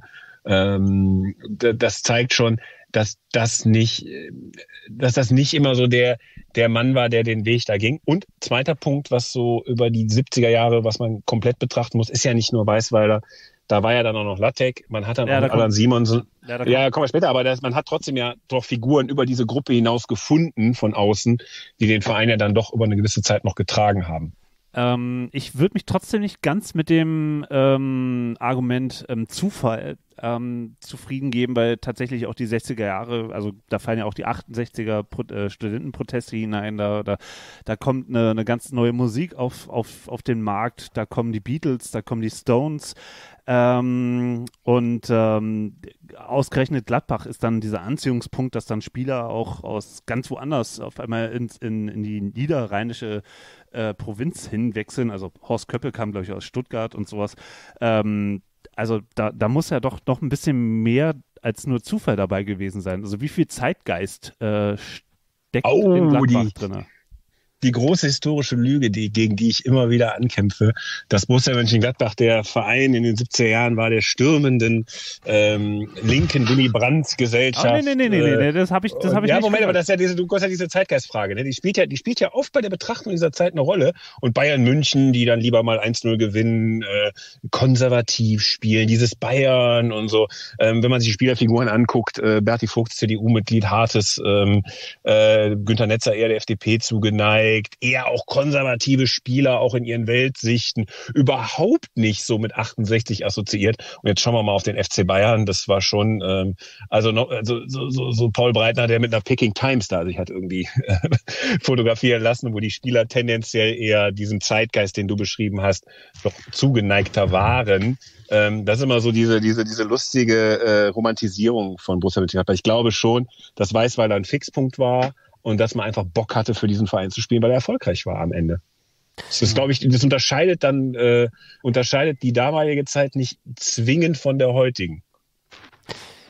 Okay, ja, aber ja, ich bin immer noch nicht zufrieden. Also natürlich sind die Bayern auch die Mannschaft, die dann als einzige Mannschaft äh, bis, bis vor ein paar Jahren 100 Tore in einer Saison geschossen haben, die mit Gerd Müller auch wahnsinniges Glück hatten, dass der auf einmal ähm, da auf die Welt kam und in der Zeit Fußball gespielt hat da sind ja viele Zufälle dabei. Bei München ist ja auch noch der Punkt dabei, die haben ja dann auf einmal Olympia gehabt, haben dieses riesige Stadion gehabt, ähm, womit man dann arbeiten konnte. Aber da kommen wir auch gleich nochmal zu. Trotzdem. Aber auch das, auch das, auch das ganz kurz, ganz kurzer Einschub zu diesem Olympiastadion, weil du es wieder erwähnst. Auch das, das Olympiastadion, klar haben die Bayern gehabt.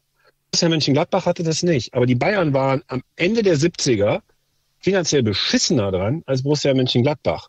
In Gladbach hat es einen Manager gegeben, um den haben wir noch gar nicht gesprochen, äh, Helmut Grassoff, der gesagt hat, ich gebe nur das aus, was ich habe. Also der die schwarze Null schon vorgelebt hat, bevor irgendjemand äh, in irgendeiner Bundesregierung auf diese Idee kam bei der EU-Finanzkrise.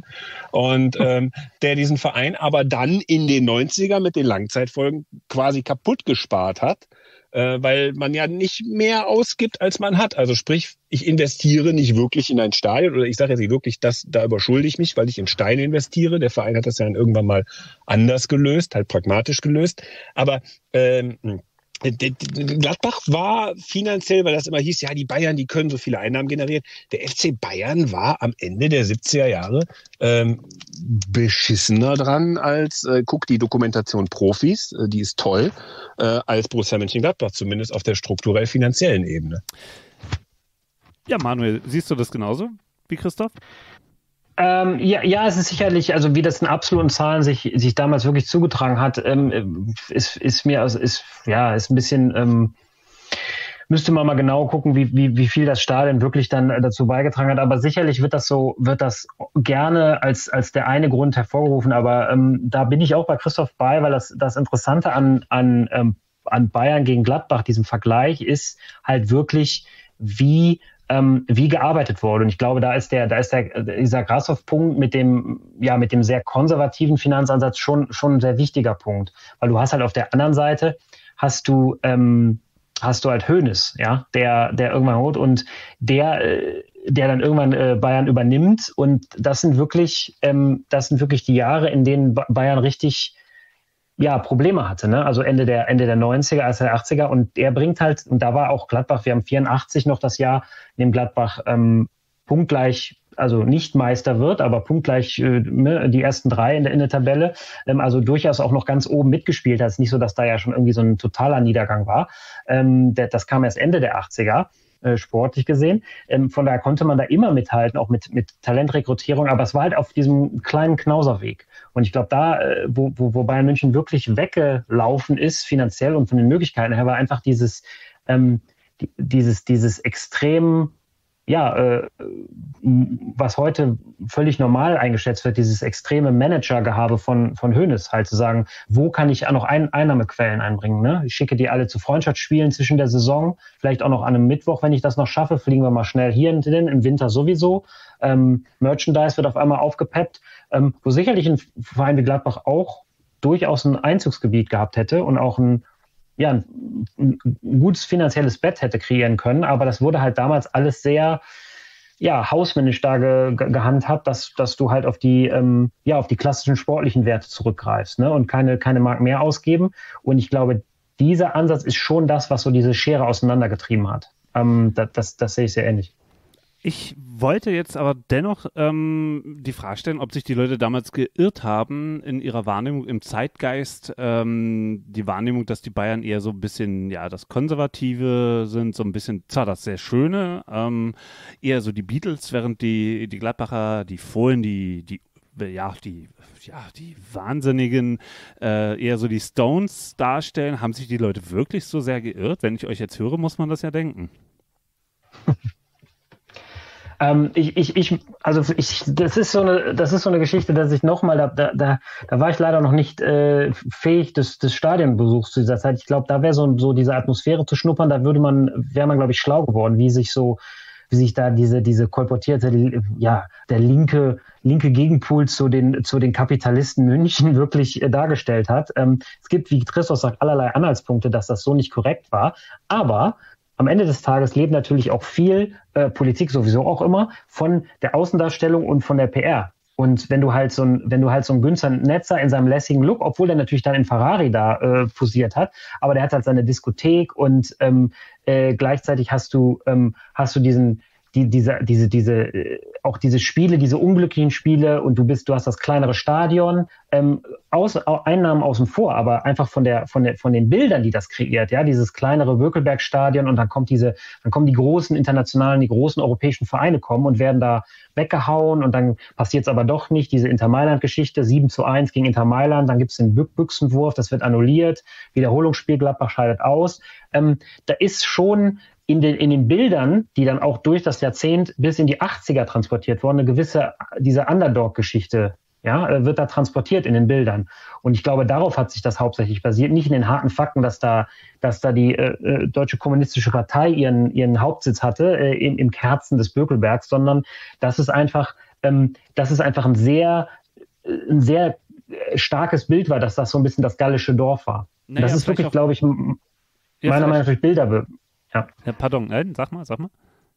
Nee, nee, das ist sich durch Bilder, Bilder vor allem begründet, nicht durch harte äh, Fakten, wie sich, wie sich die Leute politisch engagiert haben oder benommen haben, äh, sondern dass es, dass es, dass es halt einfach diese, ja, diese Außendarstellung so automatisch bewirkt hat und das natürlich auch von den Medien so gerne dargestellt wurde. Du hast ja auch einfach die München, die Großstadt mit dem, mit dem großen Stadion wiederum, aber gleichzeitig hast du halt dieses, ja, einfach diese Underdog-Geschichte. Und ich glaube, da bist du sehr schnell bei dem, bei, bei diesem, bei diesem, ähm, ja, Gegensätzen. Also da möchte ich den Vergleich doch trotzdem nochmal wagen. Auf der einen Seite München mit diesem riesigen Stadion, aber eine riesige Tatanbahn drumherum, also mit so einer sich äh, in, in, im, im Nichts verlierende Atmosphäre. Und auf der anderen Seite hast du halt eben das kleine Bökelbergstadion in einer Provinzstadt mit 250.000 Einwohnern, äh, eher Typ Hexenkessel, wo man merkt, oh, aus so einer kleinen äh, gegen, machen die Jungs da aber doch eine ganze Menge. Also ähm, Establishment gegen, naja, die Leute vom Dorf äh, sammeln sich mal und äh, schaffen es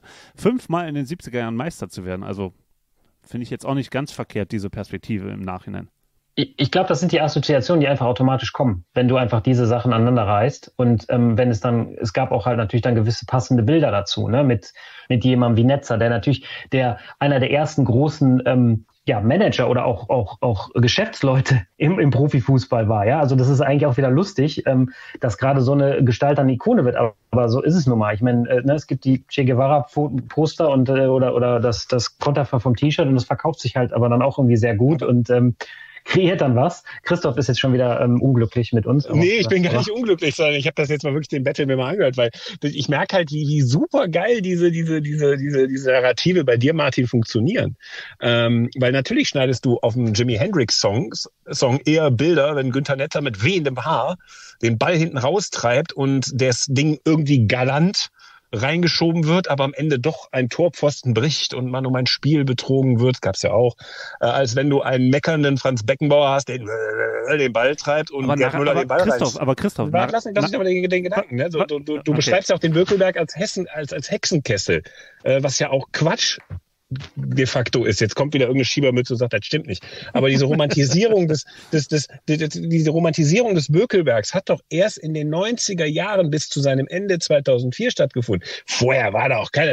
In Mönchengladbach war der Bökelberg immer ein Streitthema, weil er der Stadt gehörte und die Stadt hatte den Verein immer gesagt, hör mal, wir haben gerade wieder finanzielle Probleme, ihr seid ja so bekannt, hör mal, zahlt mal 100.000 Euro mehr Miete. Äh, die, die, die, die, der Verein fand das Stadion nicht geil. Äh, wenn du im Regen da gewesen bist, fandst du das als Fan auch nicht geil. Es war auch nicht immer ausverkauft. Wir haben irgendwie in den 80er Jahren Spiele gehabt äh, vor 14.000, 16.000 Zuschauern und auch in den 70er Jahren war das Ding nicht immer bis zum Brechen voll, ganz im Gegenteil. Also diese ganzen Framings, will ich jetzt mal sagen, ähm, die über Borussia Mönchengladbach in den 70er Jahren, die bis heute nachwirken, ähm, die finde ich immer sehr lustig. Ich meine, klar spielt der Verein damit auch. Das soll er auch tun, weil daraus erzählt er sich und damit verdient er knallhart gesagt Geld. Aber ähm, so, man sollte man sollte nicht so naiv sein, sage ich dann immer gerne, Borussia Mönchengladbach in den 70er Jahren äh, so, so zu idealisieren, weil das lässt halt viel Spannendes außen vor. Den Umgang mit Mökelberg finde ich zum Beispiel hochspannend. Äh, ihm wird nachgeweint, aber im Endeffekt, ähm, ich werde jetzt mal, ich sag mal so, wenn man eine Umfrage macht, ähm, dann Fans, wo hast du am meisten gelitten beim Gucken und zwar nicht wegen des Spiels, sondern wegen der äußeren Umstände, dann kommst du ganz schnell auf den Bökelberg zu sprechen. Ich sag mal, dritte Reihe pinkeln äh, und so, das sind keine schönen Erlebnisse. Ist sicherlich nicht Fußballgenuss anno 2021 das Stadion gewesen. Nee, es war ähm, auch 1995 kein, kein Fußballgenuss aller 1995. Es war auch, ja, ja. also das Ding war, das Ding war immer schon ein, ein Problemfall, weil die Stadt einfach es nicht so weiterentwickeln wollte, Aber wie sie es wollte. Und es war direkt im Villenviertel. Ja. Die Leute, die da gewohnt haben, haben das Ding gehasst. Okay. Weil Leute, klar, die wohnen in einer Villa. Aber, aber, Manuel und ich haben da reingekotzt in die Vorgärten. Aber, aber habe ich jetzt zu viel verraten? Da habe ich mich jetzt scheinbar falsch vorher informiert. Ich weiß nicht, ob ihr in, jemals in dieses Stadion reingepinkelt habt. Äh, das möchte ich auch gar nicht so sehr wissen. Ich glaube, das interessiert auch unsere Hörerinnen und Hörer nicht. nicht so sehr. Ähm, und das wollt ihr bestimmt auch nicht verraten. Aber dann habe ich mich trotzdem falsch informiert, offenbar im Vorfeld. Ähm, weil den, die Kiesgrube der Köhl, das hat doch die Borussia erworben, wenn ich das richtig in, im Internet gefunden habe. Ähm, oder wie ist das? Ja, aber dann, dann ging es halt, dann wurde es halt wieder zurückverkauft. Es wurde wieder zurückverkauft, ich weiß gar nicht wann, 50er Jahre, Manuel, vielleicht weißt du es, an die Stadt, weil man halt einfach auch mal pleite war. Ne? Also es, äh, und die Stadt hat halt immer wieder Borussia zwar als Werbeträger gesehen, aber natürlich auch als äh, Sanierungsfall für den eigenen Haussäckel, weil wir sind ja dann wieder beim Industriellen. Der Stadt ging es auch nicht so geil, dass die jetzt sagt, komm, wir bauen euch da mal irgendwo auf der grünen Wiese 40.000 Leute hin. So, das ging halt nicht. Aber nochmal zu den Narrativen. Also ich finde, sag ich mal, in der Zeit selber, ähm, wenn man auch die, die, äh, ja, die Bildmateriale ähm, auswertet und sich anschaut und das, was dann auch rüberkommt, ist halt eben schon die Enge eines reinen Fußballstadions damals schon überzeugender gewesen als eben so eine schnicki äh, Olympia-Arena mit, mit Tatanbahn drumrum.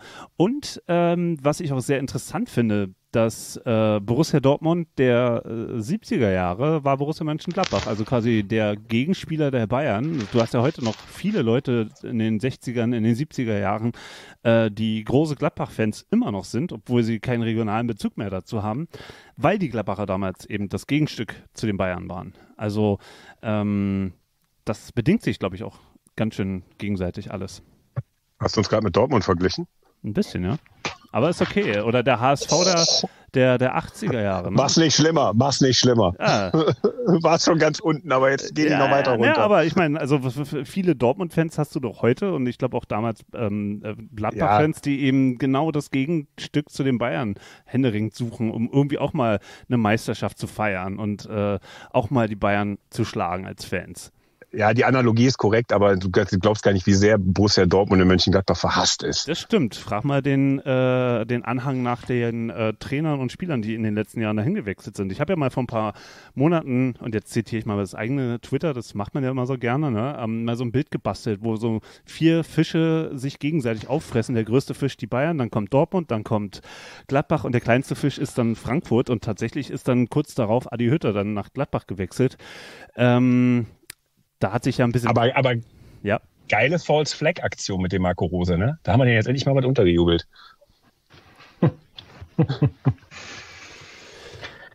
Gut, ähm, ähm, lasst uns nochmal in die 70er gehen, bevor wir dann gleich in die 80er rübergleiten. Ähm, Äh, dann kam ja Udo Lattek, der genau das Gegenteil ähm, war vom Hennes Weißweiler, eher so der Typ Kumpel, äh, der eher äh, ja, mit einem Bier in der Kabine sitzt, so auch so ein Narrativ vielleicht äh, oder so ein Bild, was man gerne vor Augen hat äh, in seiner Fantasie. Lattek kommt nach Mönchengladbach und lässt einen ganz anderen Fußball spielen, wird tatsächlich auch nochmal zweimal Meister. Aber irgendwie, ähm, wenn man sich das genau anschaut, danach geht es mit Gladbach abwärts. Stück für Stück mein Empfinden. Ähm, und lag das schon an Udo Lattek, dem man ein fehlendes taktisches Verständnis nachsagt oder eher äh, und eher eine kumpelhafte Motivationskunst nahelegt oder war es dem Management von Helmut Grashoff geschuldet? Christoph. Oh, ich bin, ich bin, ich bin aufgewachsen mit dem Satz der Lattek äh, von den Zeitzeugen, ähm, die sehr nervig sein können im Übrigen, ähm, in Mönchengladbach. Aber ich bin aufgewachsen mit dem Satz, der Lattek kann ja nur fertige Mannschaften trainieren, der weiß, weil er hat eine Mannschaft gebaut. Das ist der Unterschied. Weil Lattek war fairerweise im Europapokal-Endspiel der Landesmeister, hat Liverpool mussten ja dann vertreten, 77 im Weltpokalfinale. Ähm, der, der Lattek war schon sehr erfolgreich, nicht vergessen. Alan Simonsen ist keine Erfindung oder von, ähm, von äh, der war Europas Fußballer des Jahres, äh, von Hennes Weißweiler. Also auch unter Lattek ist dieser Verein jetzt nie abgestürzt. Da ist auch nichts eingesetzt, wo ich jetzt sage, äh, das würde man als Delle bezeichnen, zumal danach ja der Jupp Heynckes kam. Das war jetzt für die Verhältnisse auch nicht so schlecht. Also insofern äh, ich habe mit LaTeX verbinde ich halt nichts, weil der fast überall war und nirgendwo. Ähm, deshalb ist das für mich nie so ein ersten Gedanken der Gladbach-Trainer schlechthin. Aber unterm Strich war der schon sau erfolgreich. Ja, okay. Aber ja, da, da, wo, wo, wo ist sozusagen der Punkt, wo, wo Gladbach dann einfach aufgehört hat, Titel zu gewinnen? Wolf Werner. Kommen später zu. Also es gibt ja, es gibt ja als, als, als Borussia, und das ist ja auch unter Gladbach-Fans bekannt, äh, dieses, äh, der zweite UEFA-Cup-Sieg 1979, ähm, als Bertie Vogts gesagt hat, ähm, schaut euch diesen Pokal an, das wird der für lange Zeit der letzte sein, den ihr bewundern könnt oder den ihr nach, nach Gladbach holt. Und da sollte er recht behalten bis zum Pokalsieg 1995. Und ähm, ja, Fun ich glaube, es war einfach Fun das. Fact, ganz ja. wichtiger Fun Fact. Äh, schaut euch dieses Zitat an. Es wird das letzt, eines der letzten sein, wo Bertie Vogt mal recht hat. Muss man dazu fairerweise auch sagen. Bis auf die Kaninchen, Kaninchenrauchrettung im Tatort, ne? Da hatte er nochmal ja, recht, Max, ich. Aber mein liebstes Zitat von ihm ist, äh, Max Eberl hat den Job doch nur, weil er aus Versehen dem Fahrrad an der Geschäftsstelle vorbeigefahren ist. Ja, das ist äh, in, in, in, in, der Rückbetrachtung ist das mindestens so legendär jetzt wie, äh, wie der erste Satz, das stimmt. Aber, aber ich glaube, es ist einfach, ich glaube, es ist einfach ein Ende, Ende einer, einer, einer Ära, einer Generation gewesen. Und ähm, da ist einfach dieses, dieses, was ich vorhin äh, angemerkt hatte, dieses automatische ähm, Talent nachkommen, ist, ist einfach da nie so garantiert gewesen, dass es dann automatisch auch in die 80er übergehend ähm, so war, dass, dass Gladbach da immer noch die Mannschaft ist, die man schlagen muss, um, äh, um deutscher Meister zu werden. Also ne, ich habe, ähm, ne, es hörte dann, dann Vogts hörte auf oder oder äh, Bonhoff, Heinkes waren waren dann weg. Das waren einfach die prägenden Gestalten und das ist dann für einen, das ist äh, egal in welcher Epoche du bist, du kannst das dann einfach nicht so weitermachen. Ähm, zumal Gladbach ja äh, nicht in den Jahren äh, von 80 bis 85 da wirklich äh, schrecklich war. Ja, also da waren immer noch, äh, es war immer noch im ersten, im ersten äh, Tabellendrittel. Äh, 84 habe ich angesprochen. Das war, ähm, das war am Ende, ne, war man, war man nur vom vom Torverhältnis vom Meistertitel getrennt. Das war, das viele Gladbacher denken die oder finden die Mannschaft 84, 85 dieser Saison oder 83, 84 diesen diesen Jahren mit die beste ähm, die stärkste Mannschaft. Ähm, die, die Gladbach hier hatte definitiv die stärkste Mannschaft, die nie Meister geworden ist. Ähm, von daher ist, zog sich ja schon noch eine ganze Weile äh, weiterhin, dass Gladbach über die strukturellen Verhältnisse vielleicht ähm, doch immer eine erste Geige in, ja, in den Top Top 6, Top 5, Top 8 äh, spielte. Ähm, also so ganz harter Abstieg ähm, kam er da noch nicht. Aber es hat vielleicht auch so Christoph, zu tun. Christoph, warte mal, du hattest doch auch im Vorgespräch auch mal gesagt, äh, Grassoff. Grassoff, äh, Tod äh, sparen. Was? Ja. Ja, das ist ja die Nummer, aber was ich, was, äh, vielleicht lag es halt in den 80ern übrigens daran, dass der Fußball immer hässlicher wurde und keinen schönen Fußball mehr vertragen hat und alle sich dann wie nach gerichtet hat. Das ist jetzt so eine These, stell die mal in den Raum. Ja, Grassoff, ich habe das, Du meinst eher so eine sehr defensive Ausrichtung? Also das, ja, das, physisch und so, ne? So, so deutsche Panzer und so, ich meine, Ja. so, die, so äh, diese, diese Geschichten im Ausland, also das, äh, die, dieser Briegeloberschenkel, der da irgendwie äh, symbolhaft für steht. Also Da, und da das fand ist dann genau, die. und da fand ich, genau, muss ich kurz unterbrechen, und genau da fand ich nämlich die Gladbacher sehr, sehr attraktiv, als sie nämlich die Tormaschine waren, als sie äh, sehr attraktiven Fußball gespielt haben, als sie sich tatsächlich auch mit schönem Fußball zum Ende der Ära Heinkes äh, die letzten zehn Spiele, äh, zehn Siege irgendwie noch auf Platz drei in, in der Tabelle 86, 87 hochge, hochgeballert haben. Ähm, also das war schon eine attraktive Mannschaft, das war ein attraktiver Fußball. Ja, aber das ist halt, du bist ja wieder beim Zeitgenössischen. Aber du wolltest ja jetzt auf, auf Grassoff und, und zu Grassoff, das wollte ich vorhin schon sagen, wir haben ja dieses mit dem Sparen ja angesprochen. Es gibt ein wunderbares Buch, das hat er geschrieben. Hat zwar einen furchtbaren Titel, weil jeder Verein, der irgendwann mal in seiner Vereinsgeschichte Scheiße gebaut hat, bezeichnet sich schön rednerisch so, nämlich als launische Diva. Und ähm, das ist so abgegriffen und dämlich, dass es wirklich nur noch von Fortuna Düsseldorf benutzt wird. Die tun das tatsächlich. Ähm, muss dann immer schmunzeln. Ähm, und ich disse sie auch immer wieder gerne. Aber ähm, äh, Grassoff hat ein Buch geschrieben, Meine launische Diva. Das ist, glaube ich, aus den Endzeiten von äh, 91, 92. Äh, gibt's auch wieder neu aufgelegt. Ähm, erstens habe ich da gelernt, man kann alle Probleme bei einem Zitat zünftigen Skat lösen. Ähm, das äh, ist, glaube ich, die Hauptformulierung dem Buch. Aber er beschreibt so den Weg dahin, wie man konsolidiert mit einem sparsamen Kurs, aber wie man es auch komplett vor die Wand fahren kann. Ähm, und er dann einfach selbstkritisch sagt, ich habe da auch zu spät losgelassen und habe dann auch, was die Auswahl an Spielern und Trainern anging, nicht mehr so, haben wir nicht mehr so richtig gelegen. Also äh, muss ja auch sehen, wir reden sehr viel über Trainerfiguren. Gladbach hat bis zu Wolf Werner 1989 in der Bundesliga-Geschichte, also über fast 25 Jahre, nie einen Trainer entlassen. So, das haben die nicht gemacht. Es war, es ist, äh, da haben andere schon sechsmal getauscht gehabt in einer Saison. Da hatte Gladbach, war das ein, ein, ein No-Go, den Trainer zu entlassen. Scheint übrigens heute auch wieder so ein Problem zu sein. Aber es kommen wir ja gleich drauf zu, zu sprechen. Und dieses Buch empfehle ich sehr, sehr stark, um, um zu zeigen, wie dieser Provinzverein aufgezogen wurde, wo aber die Fallstrecke sind und wo die Romantisierungen einfach auch sind. Da sind wir zum Beispiel bei Ewald Lienen, der sich zum MSV Duisburg reamateurisieren lässt. Das beschreibt Grassoff sehr schön weil er wieder Amateur sein will, aber am Ende kommt raus, über Handgelder verdient er in Duisburg in der dritten Liga mehr als in Gladbach in der ersten. Und wenn man so sparsam ist, ähm, verdient also de facto ein Drittligaspieler, der eigentlich nicht viel verdient, dafür mehr als ein Erstligaspieler. Also dieses Buch lege ich jedem ans Herzen, ähm, der irgendwo was über diese Fußballzeit verstehen will, weil Gladbach da dann doch zum Fußballgeschäft einen Anachronismus darstellt in Sachen Verlässlichkeit. Auch wieder eigentlich so ein Gegensatz zum wilden Linksliberalen. Ähm, des Verlässlichen, des teils Biederen. Und da lässt sich das alles sehr gut nachempfinden, ähm, wie einzelne Figuren über Jahrzehnte was prägen können, wie schwierig es aber ist, den Ausstieg aus einem systemischen, äh, einer systemischen Idee eines Erfolgsmodells zu finden, wenn man es verändern muss. Also wie schwer Veränderungen dann ab einem gewissen Punkt fallen. Und ich glaube, da bist du dann in der Nach-Heinkes-Zeit. Ähm, hätte es denn statt Helmut Grashoff irgendwann in den 80ern einen anderen Manager gegeben, der das äh, hätte machen können? Also gab es da irgendwelche Figuren, die sich da angeboten hätten?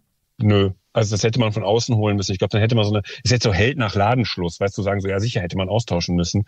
Ähm, ich glaube, man hätte es früher machen können, ähm, aber warum sollte man das tun? Du hast ja auch eine Zeit, eine Saison angesprochen, wo es ja noch prima lief dieses, der Weg zum Abstiegskandidaten, das vollzog sich ja in rasender Geschwindigkeit äh, bis 89, 90 und insofern, da, da, da, da war es schon schwer, den Weg rauszufinden. Also insofern, mh, im Nachgang könnte man sagen, hätte man Mitte der 80er das Führungspersonal verjüngt und verändert von außen, wäre vielleicht länger was gegangen. Ähm, klar beantworten wird sich das nie lassen. Aber das ist ja, da sind wir ja genau, da sind wir ja genau auch bei diesem, äh, bei dieser Bürde, die der Verein ja auch lange mit sich äh, selbst auferlegt rumgetragen hat oder auch rumträgt, ist diese, diese Mythoserzählung diese Legende der 70er. Da war ja auch einfach äh, Ende der 80er, Mitte der 80er vielleicht auch, aber definitiv Ende der 80er und in den 90ern war auch einfach das Gewollte, diesen, diesen Status quo, das, das kleine nette Stadion, äh, unsere Erzählung vom, vom Mythos und irgendwann kriegen wir halt mal den richtigen Mittelfeldspieler und Stürmer wieder zurück und dann werden wir auch wieder Meister. Das wurde ja auch einfach so eingefroren in der Zeit 15 Jahre nach den letzten Titeln immer so weiter vor sich hergetragen. Das wurde ja auch einfach nicht gewollt. Von daher ähm, war das ja auch einfach so eine, so eine Schockstarre, die, die Gladbach dann im Bundesliga-Betrieb gerade um diesen, um diese, um die Wendejahre äh, begleitet hat. Das, das war einfach so.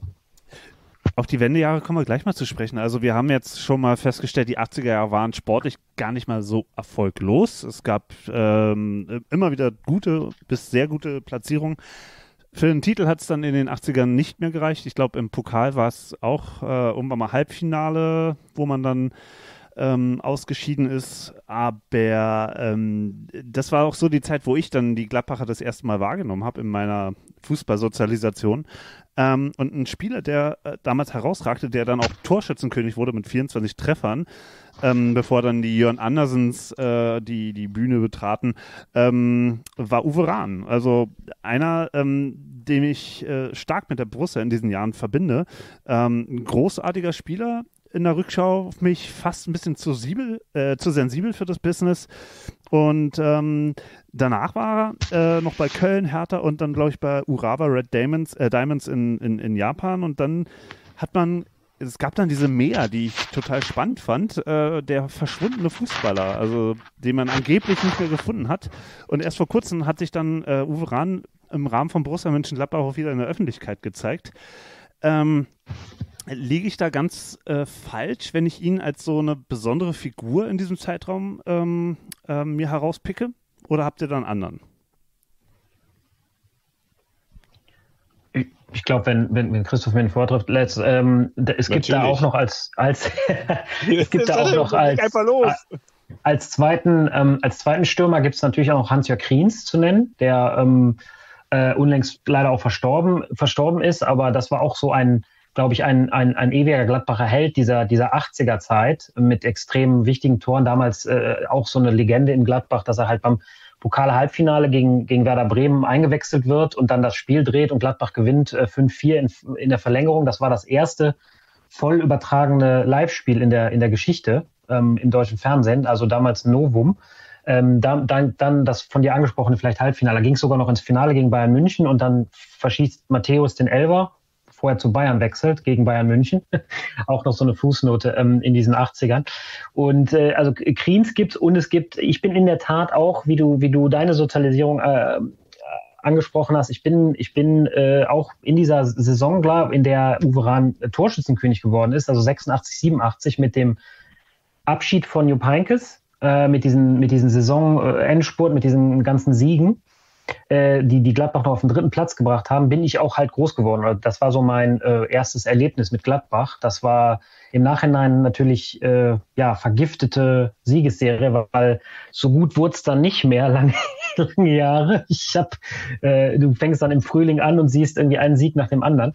Das ähm, und da war Uwe Rahn sicherlich einer der ja einer der Helden. Also für mich ist das halt auch einer der einer der Gesichter der, der 80er, obwohl er letzten Endes natürlich dann nachher noch dem zum, zum Erzrivalen Köln gegangen ist, den, den auch zur Vizemeisterschaft. Das waren so ja die Daumen, Daumenjahre, Daumen gegen Höhnes und so. Da, da, also der hat auch noch ja wirklich andere erfolgreiche Stationen gehabt. Aber ich denke mal, seine Blütezeit war schon in Gladbach, war dann auch Fußballer des Jahres. Das war der äh, danach nur noch Marco Reus und äh, vorher äh, Netzer und Vogt jeweils zweimal. Also man sieht allein da schon auch, dass Fußball Deutschland da schon äh, den ihn so als äh, ja einen Starstürmer der, der, der Liga gesehen hat. Und ähm, ich glaube, es ist einfach so, von seinem Naturell gewesen, dass du hast diese mehr vom Verschwinden äh, da auch äh, angesprochen. Das ist halt einfach nur jemand gewesen, der sich nach und nach vom Fußball entfernt hat. Und äh, damals gab es natürlich auch so dann auslaufend äh, am Ende seiner Karriere, Anfang der 90er, einfach weniger Bedarf, dass dann noch 60, 80 äh, Ex-Profis irgendwo auf irgendwelchen Kanälen was zum aktuellen Bundesliga-Spieltag oder zum aktuellen Euro- oder Weltmeisterturnier was dazu sagen. Ja? Also ich, ich glaube, da gab es, wenn du dich da, wenn du da nicht berufen gefühlt hast, bist du dann auch schnell raus gewesen. Vielleicht auch nicht der, der Typ war für so Netzwerke, Netzwerke und das äh, hat er wohl jetzt auch noch mal im Nachhinein so dargestellt, dass er ja einfach nicht der, der, der Typ dafür, dafür war und ähm, sich, sich ähm, ja auch mal hier und da gelebt hat, ähm, glaube ich, da seiner Frau immer hinterhergereist ist in den Folgejahren, ähm, die ähm, im ausländischen Amt oder so, Auswärtigen Amt gearbeitet hat. Und ähm, ja, das sind so, das sind so die Sachen zu Uwe. Aber ähm, für alle Gladbacher, die irgendwie aus, aus meiner Generation sind, die so mit dem, mit diesem spät 80er Fußball wirklich auch groß geworden sind, ist er mit Kriens zusammen ganz äh, klar das Aushängeschild für Tore. Ja, Christoph, Christoph ähm, was sagst du zu Hans-Jörg Kriens, wenn, wenn äh, Manuel den jetzt gerade nennt? Ich habe dir ja im Vorfeld gesagt, dass du, wenn du mit Rahn kommst, eher Kriens nehmen solltest. Ähm, ja, Kriens ist für mich so der Uwe Rahn. Ich bin ja ähm, nicht, ich bin ja im Winter, ich bin ja im Winter eingestiegen, Manuel. Ich habe es mir ja einfach gemacht. Ich bin ja zu fiesen Zeiten als Fan eingestiegen. Ich weiß zu Uwe Rahn nur, dass mein Großvater immer versucht hat, mich zum Gladbach-Fan zu machen. Der ist 88 gestorben. Und in dieser Wahnsinnssaison, von der du gesprochen hast, hat mein Großvater mich immer wieder versucht, als Sechsjähriger dahin zu treiben. Geh doch mal zum Training vom Borussia. Guck mal, das ist der Uwe Rahn. Da sind die durch den bunten Garten in München-Gladbach gejoggt. Mir war das scheißegal. Dann kam die WM 90 und ähm, dann hat mich Fußball elektrisiert, auch durch den angesprochenen Lothar Matthäus. Äh, muss man ganz ehrlich so sagen. Äh, Lothar Matthäus, der ja heute behauptet, äh, immer ganz, ganz im, im neuesten Vereinsmagazin oder einem der letzten, hat er sich in Gladbach-Klamotten ablichten lassen und gesagt, er ist ja eigentlich eher Gladbacher und Puma ist ja sowieso seine Marke vom Vater, wo der gearbeitet hat bei Puma und so weiter und so fort. Da musste ich sehr, sehr lachen. Ähm, aber ähm, nee, für mich war dann, ich bin dann 1990 wirklich zu Borussia gekommen und als als äh, habe die ersten zehn Jahre meines Lebens mich überhaupt nicht dafür interessiert. Insofern scheidet der Rahn für mich aus, aber dann triffst du halt auf eine Borussia, die ist gelinde gesagt scheiße. Also das ist wirklich so, Thomas Eichin läuft über rechts und äh, versucht eine Flanke zu schlagen. Und der hat in seiner ganzen Karriere kein Bundesligator geschossen, der hat aber auch in seiner ganzen Bundesliga-Karriere keine Flanke über der Grasnarbe äh, angebracht. Und trotzdem lief er da immer rauf und runter. Da war ein Spieler, Frank Schulz, guter Typ, aber äh, lustiger Typ, aber das hatte nichts mehr mit der Borussia zu tun, wie man sie kannte. Und dann gab's halt Hans-Jörg Kriens. Und der hat halt Tore gemacht, der hat halt getroffen, der war sympathisch. Also wenn du als junger Mensch, Kind würde ich das nicht mehr nennen, Autogramm von einem Spieler haben wolltest und der zuvorkommend und höflich ist dann noch und keine Allüren hat, dann war das Hans-Jörg Kriens. Und das war ein, ein hoch netter Mensch, wie wir vielleicht heute wissen, zu nett.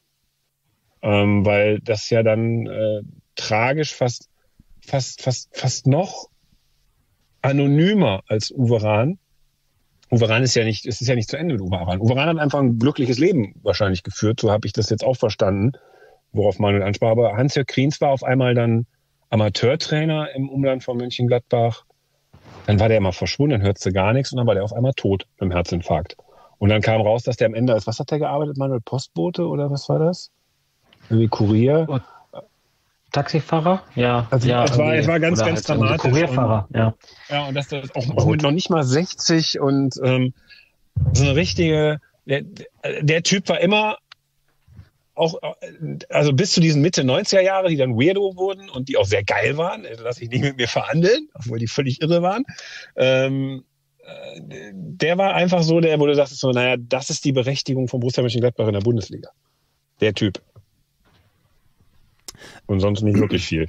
Ja, also ich sag mal zu dem Thema, wie, wie Fußballer nach ihrer Karriere ähm, dann Absturz hingelegt haben, da könnte man jetzt tatsächlich eine eigene Podcast-Folge machen. Also gerade auch wie das Vereine in den 90er Jahren dann verpasst haben, alte Legenden irgendwie ähm, noch aufzurichten oder wenn es ihnen nicht so gut geht, äh, dann aufzubauen oder zu helfen. Da fällt einem eigentlich fast nur noch äh, äh Uli Hoeneß ein, der äh, ehemalige Spieler in den Verein einbindet, äh, bei sich Ja, aber spannend bei Kriens ist, ganz spannend bei Kriens ist tatsächlich, dass der nicht so, also du, du, man könnte ja, viele kommen dann auf Eike Immel im Dschungelcamp oder Wolfram Wuttke, der einfach völlig abgestürzt ist äh, und auch so als, als Charakter, Charaktere durchaus auch so ein bisschen extravaganter, will ich es gar nicht nennen, aber nehmen wir mal den Begriff extravagant, ich weiß nicht, ob der korrekt ist, äh, waren, äh, die oder schillernde Figuren waren, die dann auch mit ihrer Gesundheit nicht gut gehaushaltet haben. Aber Hans-Jörg Kriens war, war das alles nicht, sondern der, der war einfach dann urplötzlich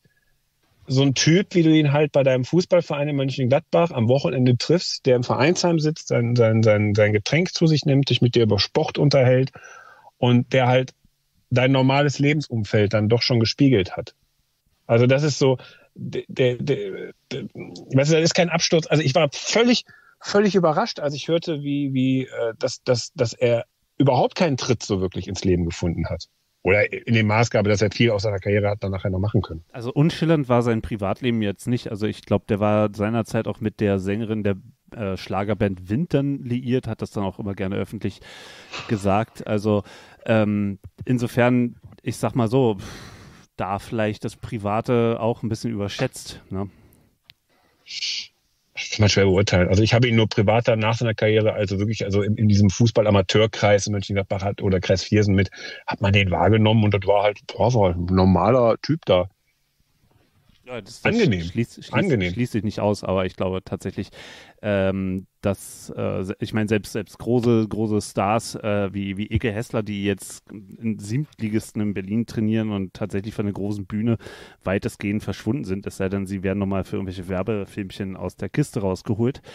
Ähm, ist das Thema Profifußballer und was aus ihnen geworden ist, tatsächlich eher ein trauriges in, bei, bei vielen Vereinen. Ohne dass sie, sag ich mal, so spektakulär wie Immel oder Wutke ähm, quasi über die Klippe gesprungen sind.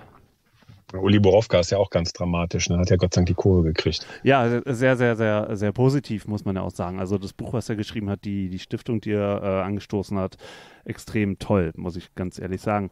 Ähm, aber lass uns jetzt mal wieder zu Gladbach zurückkommen. Also ähm, äh, Manuel, du sagtest ja schon Wendejahre. Ähm, da hatte Gladbach dann Wolf Werner, Gerd vom Bruch hinter sich. Ähm, und der, der Anschluss an die Tabellenspitze war vollkommen weg. Ähm, waren es dann diese strukturellen Probleme und Mängel, die Gladbach hatte? Also sprich das Stadion, auch die Zeit ändert sich, Wende, Wendejahre, ähm, Profifußball wird immer professioneller, kommt immer mehr in die Medien. Ähm, hat da Gladbach da den Zug verpasst? Oder waren es dann eben diese, diese, diese personellen Mängel, die Gladbach nicht mehr aufholen konnte? Ja, also definitiv eine Mischung aus allem. Also du hast, du hast dieses Strukturproblem, du hast natürlich auch zu der Zeit, ich habe den äh, 1. FC Köln angesprochen, äh, du hast ja einfach auch in der, in der Region ähm, mit den anderen Vereinen, auch, auch wenn das äh, ne, nicht, nicht immer durchgängig so war, ähm, beispielsweise Uerdingen und, und Fortuna Düsseldorf ja in den Mitte der 80er starke Jahre oder die besten besten Vereinsjahre ne, bei Oerding damals und, und Fortuna Düsseldorf. Ähm, äh, und, und dann hast du den ersten FC Köln, äh, ja, gerade um diese Wendejahre.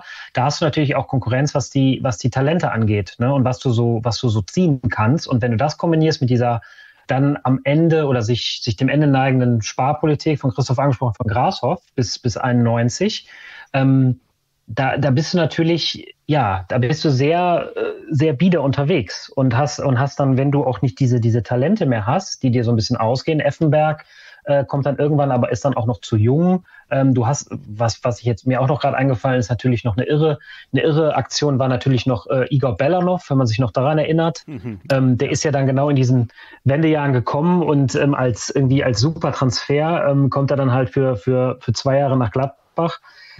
Und das, ja, ich glaube, das hat war vielleicht dann auch noch so eine Geschichte, wo, wo, wo, wo Rassos sich gedacht hat, ach Gott, ne, das, ich mache definitiv nicht mehr so eine Nummer, äh, wie, wie so ein Belanov da zu holen. Aber das, ähm, das war so, ja, alles äh, ein bisschen hauruck. Der Fußball war äh, atemberaubend äh, schlecht oder auch sehr traurig. Ähm, nostalgisch gesehen habe ich das äh, auch als irgendwie lustige Jahre in Erinnerung, weil einfach so viele bekloppte Aktionen da passiert sind, wie halt dieses äh, wie halt dieses, äh, dieser Belanov-Transfer. Ich erinnere mich auch noch an äh, ein Eigentor im Pokal nach, glaube ich, 30 Sekunden von Joachim Stadler, ein Hackenlupfer am Bökelberg aus äh, 20 Metern. So ein Tor habe ich auch nicht wieder gesehen. Das war irgendwie Gegen so alles. Lautern, ähm, ne? Ganz genau. Und das sind irgendwie so, das sind natürlich alles nur so einzelne Anekdoten, aber irgendwie ähm, diese Jahre sehe ich vor mir mit so einem regnerischen Bökelberg, wo du irgendwie mit Hoffnung hingehst und dann geht's irgendwie, steht's irgendwie irgendwann eins zu drei oder so. Äh, das so irgendwie hat sich das bei mir so verfestigt. Aber ähm, es war irgendwie immer was los. Meistens was Schlechtes, aber ähm, es fehlte an der Struktur, es fehlte an den Talenten und es fehlte auch einfach an der Vision, äh, zu sagen, wie man weitergeht. Äh, Grashoff hat quasi ziemlich in den Ausufern oder in den Ende, Endejahren und deswegen ähm, war das dann bis vielleicht bis zu per Personal Kraus oder auch mit dem Namen Effenberg verbunden, da ging es ja dann langsam wieder aufwärts ab äh, Flipsen und das waren so halt, das waren so halt diese Übergang in die Mitte der 90er. Bella noch wissen vielleicht nicht mehr so ganz so viele. Äh, das ist ja, das ist, das ist ja ein wahnsinniges Fußballer gewesen, äh, den Gladbach da bekommen hat, nachdem dann der eiserne Vorhang fiel. Und der ist dann im Kapitalismus angekommen und ja, klaut dann, oder ich glaube, seine Frau war es, klaut dann im Kaufhaus. Und damals hatte der Boulevard deutlich mehr Macht und dann ging der ganze Palaver los. Ne? Also äh, auch, auch so eine so Europas eine, so eine Personalie, ne, die ähm, traurig gescheitert ist. Da fällt mir doch beim HSV Miroslav Okonski ein, der auch dann, nachdem er dann in Griechenland war, auch gar nicht mehr auf die Füße kam. Und äh, ja, sehr, sehr, sehr traurige Geschichten. Ja. Europas Fußballer des Jahres, wollte Manuel, glaube ich, sagen. Ne? Ja, ja, genau, genau. Genau, WM 86 mit äh, der UdSSR, glaube ich, da auch der Torschützenkönig in der Mannschaft. Also wahnsinnig äh, starker Spieler einfach in der Zeit. Äh, und ähm, EM 88 auch im Finale. Also Bellanov war, war riesengroß. Und komischerweise mit Bellanov verbinde ich bei Gladbach den Beginn der hässlichen Trikots in Gladbach. Also wo dann aufgehört wurde, schöne, schlichte Trikots ähm, ähm, zu produzieren, sondern tatsächlich diese, diese Farbflächen, ähm, die dann in den 90ern in so einem Trikot bei äh, Bochum mit, mit äh, Faber äh, mündeten. Also dieser, dieser Trend begann genau, finde ich, an der Stelle. Und da sind wir wieder bei den Wendejahren, ähm, wo es für Gladbach richtig schlecht lief. Und es wurde ja auch dann erst tatsächlich, ähm, ja, also Mitte der 90er einigermaßen erfolgreich wieder. Jetzt wird äh, Christoph wahrscheinlich ähm, aus, aus, aus den Niederlanden hier rüberbrüllen, äh, dass das alles viel, viel besser war. Aber eigentlich gab es nur eine kurze Episode, zwei Jahre, mit äh, Kraus im Sturm Darlin, herrlich, ähm, wo es dann halt auch mal fürs Pokalfinale 95 gereicht hat. Ähm, das zu gewinnen. Oder hat es ja 92 schon gereicht, ne, ja, das Pokalfinale. Ja, da war ist ja schön, dass du den Namen Gelsdorf sparst und uns schonst. Ja, das ist, das, ja. ist, das ist gut. Aber, aber, aber ich äh, erwähne tatsächlich auch ähm, ähm, als Gegenentwurf vom, vom Torhüter Ralf Sievers bei, Glad, äh, bei Hannover 92 und äh, bei Gladbach den ewigen Uwe Kamps. Also ich meine, man hat ja nicht nur Pech in der Zeit gehabt, dass man auch so eine Leute dann im, im Team hatte, die einen ja auch jahrzehntelang, ähnlich wie Rüdiger Vollborn in Leverkusen, äh, erhalten geblieben sind. Obwohl er so klein ist. Ein wahnsinnig guter Torhüter. Ja gebe ich dir recht, man hat nicht nur Pech, wenn man im Pokalfinale 92 nur mit einem Stürmer gegen einen Zweitligisten einen durchschnittlichen aufläuft. Kann man nicht nur Pech haben. Mhm. Aber nichtsdestotrotz, wie gesagt, es gab ja dann diese, diese tolle, tolle Ära. Ähm, du hattest ja ähm, noch ein legendäres Erstrunden-UEFA-Cup-Spiel erwähnt gegen Arsenal London. Ähm, aber die zweite Runde hast du ja dann auch eher äh, verschwiegen in unseren Vorgesprächen, oder? Nee, was heißt, was heißt, nein, nein, nein, ich will nur die 90er sagen, wir haben ja doch gerade diesen tiefen Winter beschrieben, so Coming-of-Age-mäßig. Äh, man wird so Teenager und dein Verein ist eigentlich äh, man muss die Grundsatzfrage stellen, braucht es den eigentlich in der Bundesliga? Also die, die, die kann man zu der Zeit durchaus stellen. Äh, mehr Schein als Sein. Ähm, jeder wie er mag, aber Gladbach war da keine große Nummer. Dann übernimmt der Rolf Rüssmann vom, vom ähm, Helmut Krassow. Und Rolf Rüssmann hat sich ja nun nicht dadurch als Manager ausgezeichnet, dass er sparsam war, sondern genau das Gegenteil ist der Fall. Da gibt es halt Anekdoten von Spielern, die ins Büro gegangen sind bei, bei Rüssmann und 800.000 Mark als Jahresgehalt wollten als so, das wäre schön. Und dann sagt der Rüstmann zum Spieler, du brauchst, äh, wenn du mehr als eine Mille willst, kannst du direkt wieder gehen. So, ne, dann sagt er, ja super, geil, äh, ich nehme die Millionen. Ne? Also insofern, das war jetzt nicht, äh, da wurde jetzt nicht mit dem Bleistift äh, gearbeitet, hatte aber den, den, den charmanten äh, Vorteil, dass man halt Spieler urplötzlich hatte, die sich so über die Jahre entwickeln konnten. Also du hast Martin Dahlin gehabt, du hast Patrick Andersen kam dann irgendwann, du hast mit Bernd Kraus einen Trainer gehabt, der ähm, als erster in Deutschland auf die verpönte Viererkette setzte, während es alle anderen schon machten, war das in Deutschland ja ein gescheitertes Konstrukt. Äh, nur er ging auf die Raumverteidigung, die dann später Ralf Rangnick lehrerhaft uns dann allen näher gebracht hat. Danke nochmal dafür, lieber Ralf Rangnick, für diese Erleuchtung. Ähm, ähm, äh, Ironie bitte, kennzeichnet. Ähm, und Bernd Kraus hat das durchgezogen, hatte die Spieler dafür. Ja, und dann kam der Mittelfinger von Effenberg beim schon angesprochenen Berti Vogts. Da ist er wieder bei der WM 94. Ne? Also, äh, Aber da war er nicht bei Gladbach, oder? War er nicht da äh, schon in Italien? Nee, Moment, also äh, Nationaltrainer war Berti Vogts und der Berti Vogts hat den Effenberg rausgeschmissen und damit äh, für den internationalen Fußball desavouiert und der AC Florenz hat gesagt, na gut, dann mal weg mit Effenberg, so waren die Zeiten und Gladbach hat gesagt, ach, wir machen das. Ich erinnere mich noch an die Saisoneröffnung, äh, 94, 95, da war das noch nicht in trockenen Tüchern, wo Effenberg sagt, ich komme mit dem Fahrrad. Und äh, da ging es schon rum, ne? so nach dem Motto, so das Fahrrad, das fährt hier bald. Äh, das war schon cool. Ich glaube, äh, sieben Millionen Mark haben sie bezahlt. Und das war so in der Dimension. Zweitligist. war, Florenz war damals, glaube ich, ein Zweitligist. Ja, ich glaube, das auch noch sowas spielt da eine Rolle, aber international wollte noch keiner. Und man hat wirklich sieben Millionen Mark für den bezahlt. Und ursprünglich spielte Stefan Effenberg und die wilde große Welt da äh, äh, mit Martin Dahlin, einem furchtbar spannenden Stürmer. Äh, eine, ein, ein, ein, ein, ein, ein, also ich nenne ihn ja heute Gott, ähm, das beste Hinterteil seit Jaromir Jager im, im Weltsport. Also was der Typ den Ball abschirmen konnte. Ähm, und Patrick Andersen muss ich auch nicht viel drüber sagen. Und dann fügten sich auch so Christian Hochstetter, Jörg Neun.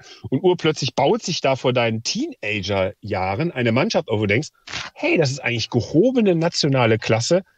Klammer auf, leider mit dem Hang zu einem guten Glas Alkohol deiner Wahl. Also, und jetzt muss ich nochmal auf den Anfang unserer Sendung äh, kommen äh, oder auch im Vorgespräch, wo du mich vorgestellt hast, dem lieben Manuel, ähm, ja, als Preußen-Fan irgendwie sehe ich jetzt gerade eine Menge, Menge, Menge und das Glas Alkohol, das, das äh, zu viel. ja, also, also war vielleicht Borussia Mönchengladbach in der Zeit eher so der BSC Preußen des Fußballs und kann froh sein, dass es dann keine DEL, DFL als geschlossenes System im Fußball gab, weil sonst wären die jetzt auch ich finde bei so ich finde, bei so Eishockey-Quervergleichen äh, aus den 90ern mit dem Fußball ist der Manuel der wahre Experte. ja, eben, genau. Ich höre euch zu, ich höre euch zu. Irgendwas mit DEG. Ja, jetzt aber mal oh, im Ernst. Ja. Also, also ein, Team, was man, ähm, wo man viel zu viel Geld reinpumpt, zu große Ambitionen ähm, und irgendwann fällt der Laden mal richtig krass auseinander. Ich sehe da jetzt Parallelen, ganz im Ernst.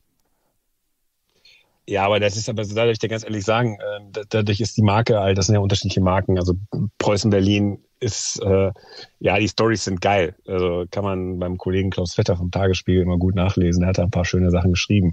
Aber ähm, nee, das, das kann man, klar, die, die, die, die Weirdo-Sachen, du kannst es mit, eher tendenziell mit der DEG vergleichen, die auch so, da habe ich mal einen gefragt, hör mal, was habt ihr eigentlich mit dem Verein verdient? Ja, super, 24 Millionen Mark die Saison, das war Bundesliga im Fußballbereich, ja. Und das Problem war, die Mannschaft hat 36 Millionen gekostet. Ne, so, so, so, so, so mal eben ein Drittel Unterdeckung. Ähm, also das sind so, so Geschichten, kennt man auch. So krass war es, glaube ich, nicht in Gladbach. Man hat ja Geld tendenziell verdient damit. Ne? Also man hat ja schon, die Stadionfrage wurde halt immer drängender, weil alle anderen bauten aus. Man wollte kommt mir auch so bekannt vor. Kommt mir auch bekannt vor. Ja, aber alle anderen wollten so Richtung Richtung einer WM, haben sich Landesbürgschaften auch irgendwo organisiert. Äh, Gladbach hat ja dann am Ende auch eine bekommen für den für den Borussia Park. Aber es war so. Ich sag mal so, äh, die die Spieler, die Mannschaft war cool. Die Spieler untereinander waren, glaube ich, auch cool miteinander. Also da gibt's lustige Anekdoten, deren Verschwiegenheit garantiert ist, weil sie bei Fantreffen waren und dann im Nachhinein erzählt wurden. Und da, da bleiben wir auch. Aber da kann man sich sicher sein, es war eine gute Stimmung in der Mannschaft, manchmal zu gut. Ich erinnere mich an ein Spiel bei Fortuna Düsseldorf, mein 15. Geburtstag am 11.11.1995. Gladbach verliert ah. nach zwei André Winkhold-Toren und einem nicht gegebenen Tor durch Michael Klinkert war es, ne?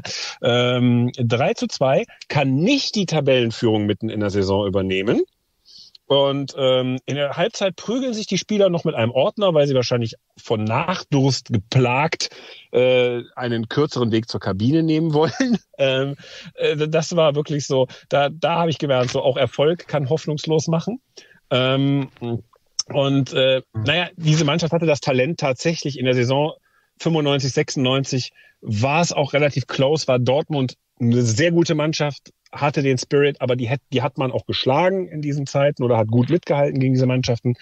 Also nüchtern betrachtet hätte man auch durchaus um die Meisterschaft mitspielen können, zumindest in der Saison 95, 96. Irgendwie wiederholt Ich hoffe, ich habe das diplomatisch genug aus, ausgedrückt. Hast du, hast du, hast du. Und irgendwie wiederholt sich die Geschichte, dass irgendwelche Top-Spieler von Gladbach dann nach Dortmund ins Ruhrgebiet wechseln. Aber da kommen wir vielleicht später noch ganz kurz drauf zu sprechen. Ähm, jeweils der, der, der Niedergang ähm, beginnt, finde ich, auch genau an der Stelle, wo Herrlich den Verein verlässt und dann ähm, das alles so über die nächsten Jahre auseinanderfällt. Mit dem, ja, Moment, nee, nee, nee, nee. Na, 95, 96 war Heiko Herrlich schon weg und man hat wirklich 12 Millionen bekommen, Mark für einen Spieler, der dann in Dortmund nicht mehr so gut war, der dann auch hier tragisch verletzt war, der eine tragische Erkrankung hatte. Ähm, und, und man muss schon sagen, Heiko Herrlich ist zum richtig, richtigen Zeitpunkt gegangen. Was man mit der Kohle gemacht hat, äh, perspektivisch, das war vielleicht eher das Ding. Ich erinnere mich vor allem daran, dass es doch relativ geräuschvoll war, wie dieser Transfer. Das war geil. Das war, das war Wild West. Also sogar, ich erinnere mich noch, dass er mich mal beschimpft hat am Spiel, äh, 95, 96, als er schon für Dortmund spielte. Und wir haben uns reingeschmuggelt in den äh, Bereich, wo der Pressebereich ist. Und dann äh, haben wir Witze gemacht über Heiko Herrlich, der gerade in den Bus stieg. Und er drehte sich rum und sagte zu mir, nimm deinen scheiß Rüssmann-Chip aus deinem Kopf.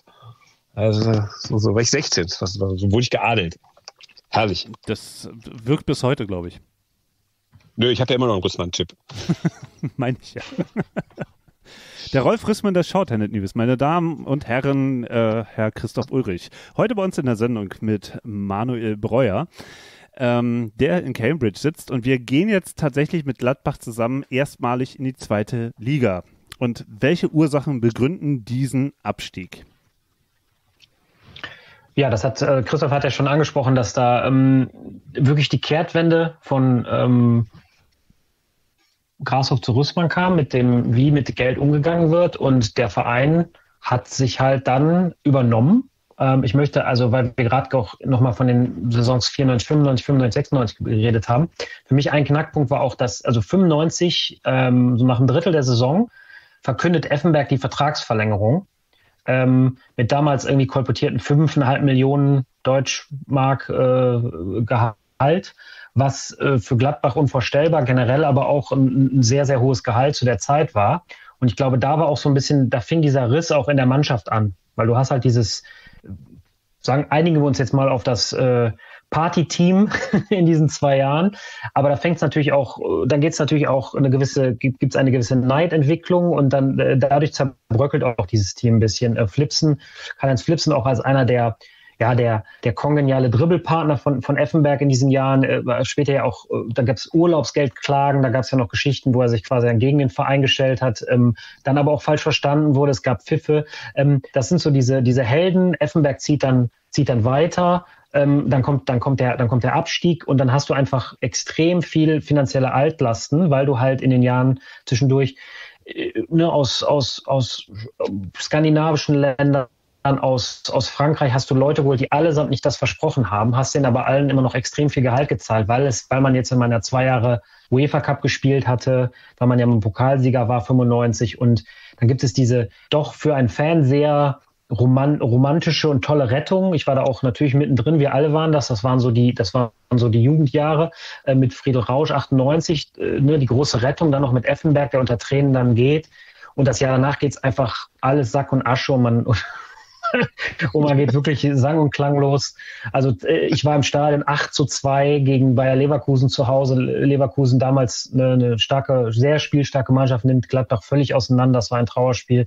Eine Woche darauf später führt man, Toni Polster kommt von Köln nach Gladbach, äh, Polster köpft das 1 zu 0 in Wolfsburg, paar Tage darauf, man will diese Schmach von dem 8 zu 2 vergessen machen, geht dann nochmal 7-1 unter. Also einfach. Ich war auch bei diesem Spiel, ich war bei beiden Spielen. Ich habe ich äh, weiß, das aber Musel-Doppelpack gegeben.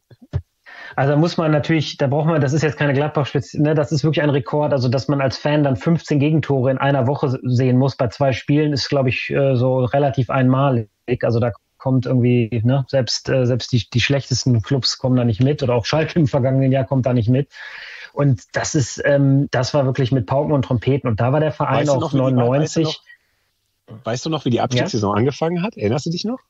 Ja klar, 3 zu 0 gegen Schalke, äh, Polster Doppelpack. Äh, ja, Tabellenführer. Also äh, das volle Programm. Du bist Tabellenführer am ersten Spieltag und danach im Grunde nichts mehr. Hast aber auch Riesentalent eigentlich auf dem Platz, die einfach aber noch nicht gut genug sind, um die Mannschaft zu führen. Du hast einen, du hast einen Robert Enke da, du hast Sebastian Deißler, ähm, große Namen, äh, ne? also auch traurige Geschichten natürlich in beiden Fällen ähm, für die weitere Karriere. Und ja, das, äh, ja, das geht dann wirklich alles in so einem, in so einem schwarzen Loch zieht sich das alles nach unten und 99 bist du dann äh, in der zweiten Liga und bist wirklich am Boden, weil du auch einfach finanziell nicht sagen kannst, wir, wir ziehen uns einfach direkt wieder hoch.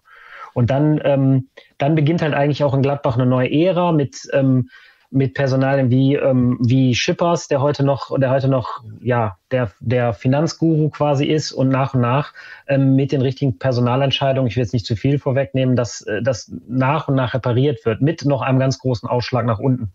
Fünf Jahre später aber. Ja, gut. So. Das ist eine andere Geschichte. ist auch ja. lustig. Kaufhaus des Westen. Steht nicht in Berlin zu dem Zeitpunkt. Aber ja. ähm, ähm so, so, so, so, so ein Zeitmarker ist natürlich die Jahrtausendwechsel, der, der Jahrtausendwechsel Gladbach als Zweitligist. 2001 ja. dann wieder zurück. Dann kommen eben jetzt diese Jahre, die doch eher relativ mäßig waren und äh, mit dieser unfassbaren Auswärtsflaute. Also, weiß nicht, wie viele Jahre man brauchte, um irgendwie mal in einer Saison mehr als einen Auswärtssieg äh, hinzulegen. Das war katastrophal. Ähm, und dann stieg man 2007 erneut wieder ab, stieg dann sofort wieder auf. Ähm, aber genau dieser Zeitraum 2000 äh, bis 2007, was hat euch damals Hoffnung äh, gemacht, dass es mit Gladbach doch nochmal wird? Und äh, war das dann der inzwischen eröffnete Borussia Park? Ähm, Waren es neue, junge Talente? Was, was hat euch genährt? Nicht viel. Mich hat auch nichts genährt. Also das ist jetzt wohl die Zeit, wo ich, wo ich, wo ich jetzt persönlich journalistisch ein bisschen am Seitenrand stand und seitdem ich kann ich Dick Advokat nicht mehr im Fernsehen sehen, ohne diesen jeweiligen Fernseher äh, irgendwie was anzutun. Ähm, also das war ja, Gladbach hat, man muss vielleicht ein bisschen früher ansetzen, der Jahrtausendwende. Gladbach hat ja in der zweiten Liga über Hans Meyer als Trainerfigur und strukturell erstmal kleineren Brötchen so Stück für Stück den Weg rausgefunden aus den Problemen.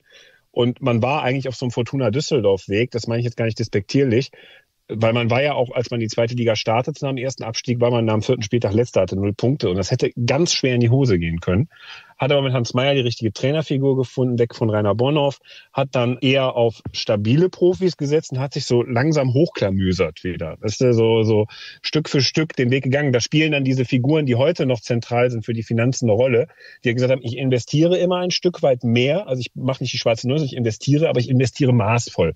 Und irgendwann hat man in Gladbach dann auch wieder Coincidence, Glück, äh, die, die, Britisch, die Briten ziehen weg, sind stationiert in Mönchengladbach, Riesenareal, den Nordpark, wir hatten ihn eingangs der Sendung, ähm, der wird frei und es gibt noch eine Landesbürgschaft, weil das EU-rechtlich noch möglich war.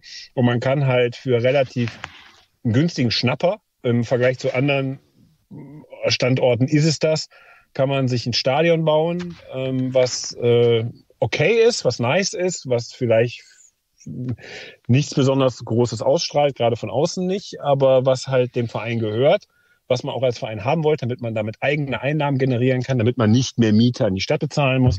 Und dann ist man so dieses, wir investieren in Steine, ist in der Zeit äh, sehr geprägt worden. Und das ist, glaube ich, so am Anfang, und jetzt kommen wir auf die Zeit, die du ansprichst, so ein bisschen schief gegangen beim zweiten Abstieg. Man hat gemeint, weil man so stark in Steine investiert und so weitreichend Wirtschafts wirtschaftlich ja so klug ist auf einmal, ist man das auch im Sportlichen und hat wirklich jeden Idioten, der nicht bei drei auf den Bäumen war und ähm, und vielleicht mal einen Namen hatte, hat man verpflichtet. Das fängt bei Dick Advokat an und bei Giovanni Elber. Äh, Manuel, wie habt ihr dann gesagt immer, äh, er läuft unrund. Unrund, also wurde, ja, ja. Das es, wurde, es, wurde, es war wirklich absurd, was da verpflichtet worden ist. Also ich erinnere mich, als ja. Jörg Böhme verpflichtet wurde, auch so ein Wahnsinnstransfer in der Winterpause. Und wir in einer Journalistentraube auf Jörg Böhme warteten, das war kalt draußen. Ähm, und man guckte so hoch und er guckte runter vom, vom, ähm, vom Areal, also von dem Bürokomplex runter auf uns Journalisten, begab sich dann irgendwann runter und sagt den zentralen Satz, ähm, ja, ich kenne ja die meisten Spieler, die hier neu verpflichtet worden sind aus der Nationalmannschaft. Also man hatte von überall aus der Welt Spieler geholt und Jörg Böhmer war jetzt kein großer Nationalspieler und ein Journalist hatte so den Kaffee auf, er sagte, von welcher? Von Togo? so, und da wurden Spieler verpflichtet. Hier, dann kommt unsere neue Sturmhoffnung, Michael, Michael Tüggesen. Äh, dann wird der Spieler von den Mitspielern gefragt in der Kabine, sag mal, was spielst du denn? Sagt er, ich bin eher so, so, so, so defensiverer Mittelfeldspieler. Das, das war völlig absurd. Peter Panda wurde vom VfL Wolfsburg verpflichtet. Also alles, was irgendwie was man dämlich machen konnte mit Geld, wurde gemacht. Der, der Balkan, wie hieß das, der Balkan-Ballack, den hatten wir auch. War dann auch Ilic, ja, ja. ja, ja, genau. Äh, wir hatten Federico Insua einfach mal so das Doppelte für Effenberg hin, als bei Effenberg hingeblättert. War auch nichts. Äh, was, was, Marek was, Heinz. Marek Heinz nach einer furchtbar geilen EM 2004 vorher schon mehrfach in der Bundesliga gefloppt. Na gut, ein geiles Turnier gespielt, verpflichte ich mal. Auch völlig daneben gegangen. Also am Ende blieb nur Marcel Jansen, der vor eine Bande tritt, absteigt und dem Verein 8,5 Millionen Euro gibt, weil er zum FC Bayern wechselt. Ich werde nie vergessen, wie mir ein Politiker erzählt hat ähm, von seiner Begegnung mit einem Offiziellen von Gladbach, als dieser Borussia-Park noch relativ neu war und dieser Offizielle diesem Politiker sagte, ich nenne wie gesagt keinen Namen, sagte, riechen Sie das, es riecht nach Europa. Machen wir uns heute noch drüber lustig, weil jetzt im Zeitpunkt delitierten da unten Jeff Strasser und äh, was haben wir da noch? Delitierten da immer noch rum. Also er war, er war völlig absurd. Ähm, und äh, aber irgendwie auch eine Zeit, die, die ich lustig fand. Na, natürlich aus der heutigen Blickrichtung, weil man wusste ja, alles wird gut. Und ja, genau, in der zweiten Liga schien ja dann wieder alles gut zu werden, weil dann ähm, ging es ja sofort wieder hoch. Was ist da passiert? Wer, wer war damals der Trainer? Das Luokai. Heute beim VfL Fenlo. Der Zweitliga-Trainer. ja. Nee, war zu dem Zeitpunkt alles perfekt gemacht, wie man in die zweite Liga gegangen ist. Muss man auch fairerweise sagen. Hat er auch bei Hertha gezeigt später. Ja, es wurde, wurden ja auch die entsprechenden Spieler geholt, wurden dann nicht mehr Stars, da wurde Rob Friend, erinnert sich heute keiner mehr dran, super Zweitligaspieler, Alex Vogt als äh, klassischer, zwar Urkölner, aber als klassischer ähm, Verteidiger geholt, der auch irgendwo so ein Spirit für die zweite Liga gibt. Also man ist nicht naiv in die zweite Liga, wie das der HSV gemacht hat, gegangen, sondern hat gesagt, ja gut, wir wissen, was uns erwartet, da brauchst du einen anderen Kader, den hat man zusammengebaut. Das heißt aber auch, wenn man dann aufsteigt, wird es halt entsprechend schwerer, sich zu konsolidieren. Ähm, ja, das, das hat, das hat, glaube ich, ganz gut funktioniert. Und auch das wieder Glück, halt oder? War da nicht wieder Glück dabei, dass dann auch jemand wie Marco Reus genau in so einer Zeit dann auch wieder aufgetaucht ist? Ja, aber der ist ja geil gescoutet gewesen. Da haben wir uns ja damals gefragt, als der Max Eberl, der dann Manager wurde in dieser Zeit, wo alles brach lag, ist ja dann Max Eberl als Jugendkoordinator mit dem Steffen Korell da eingestiegen, auch ein Ex-Profi.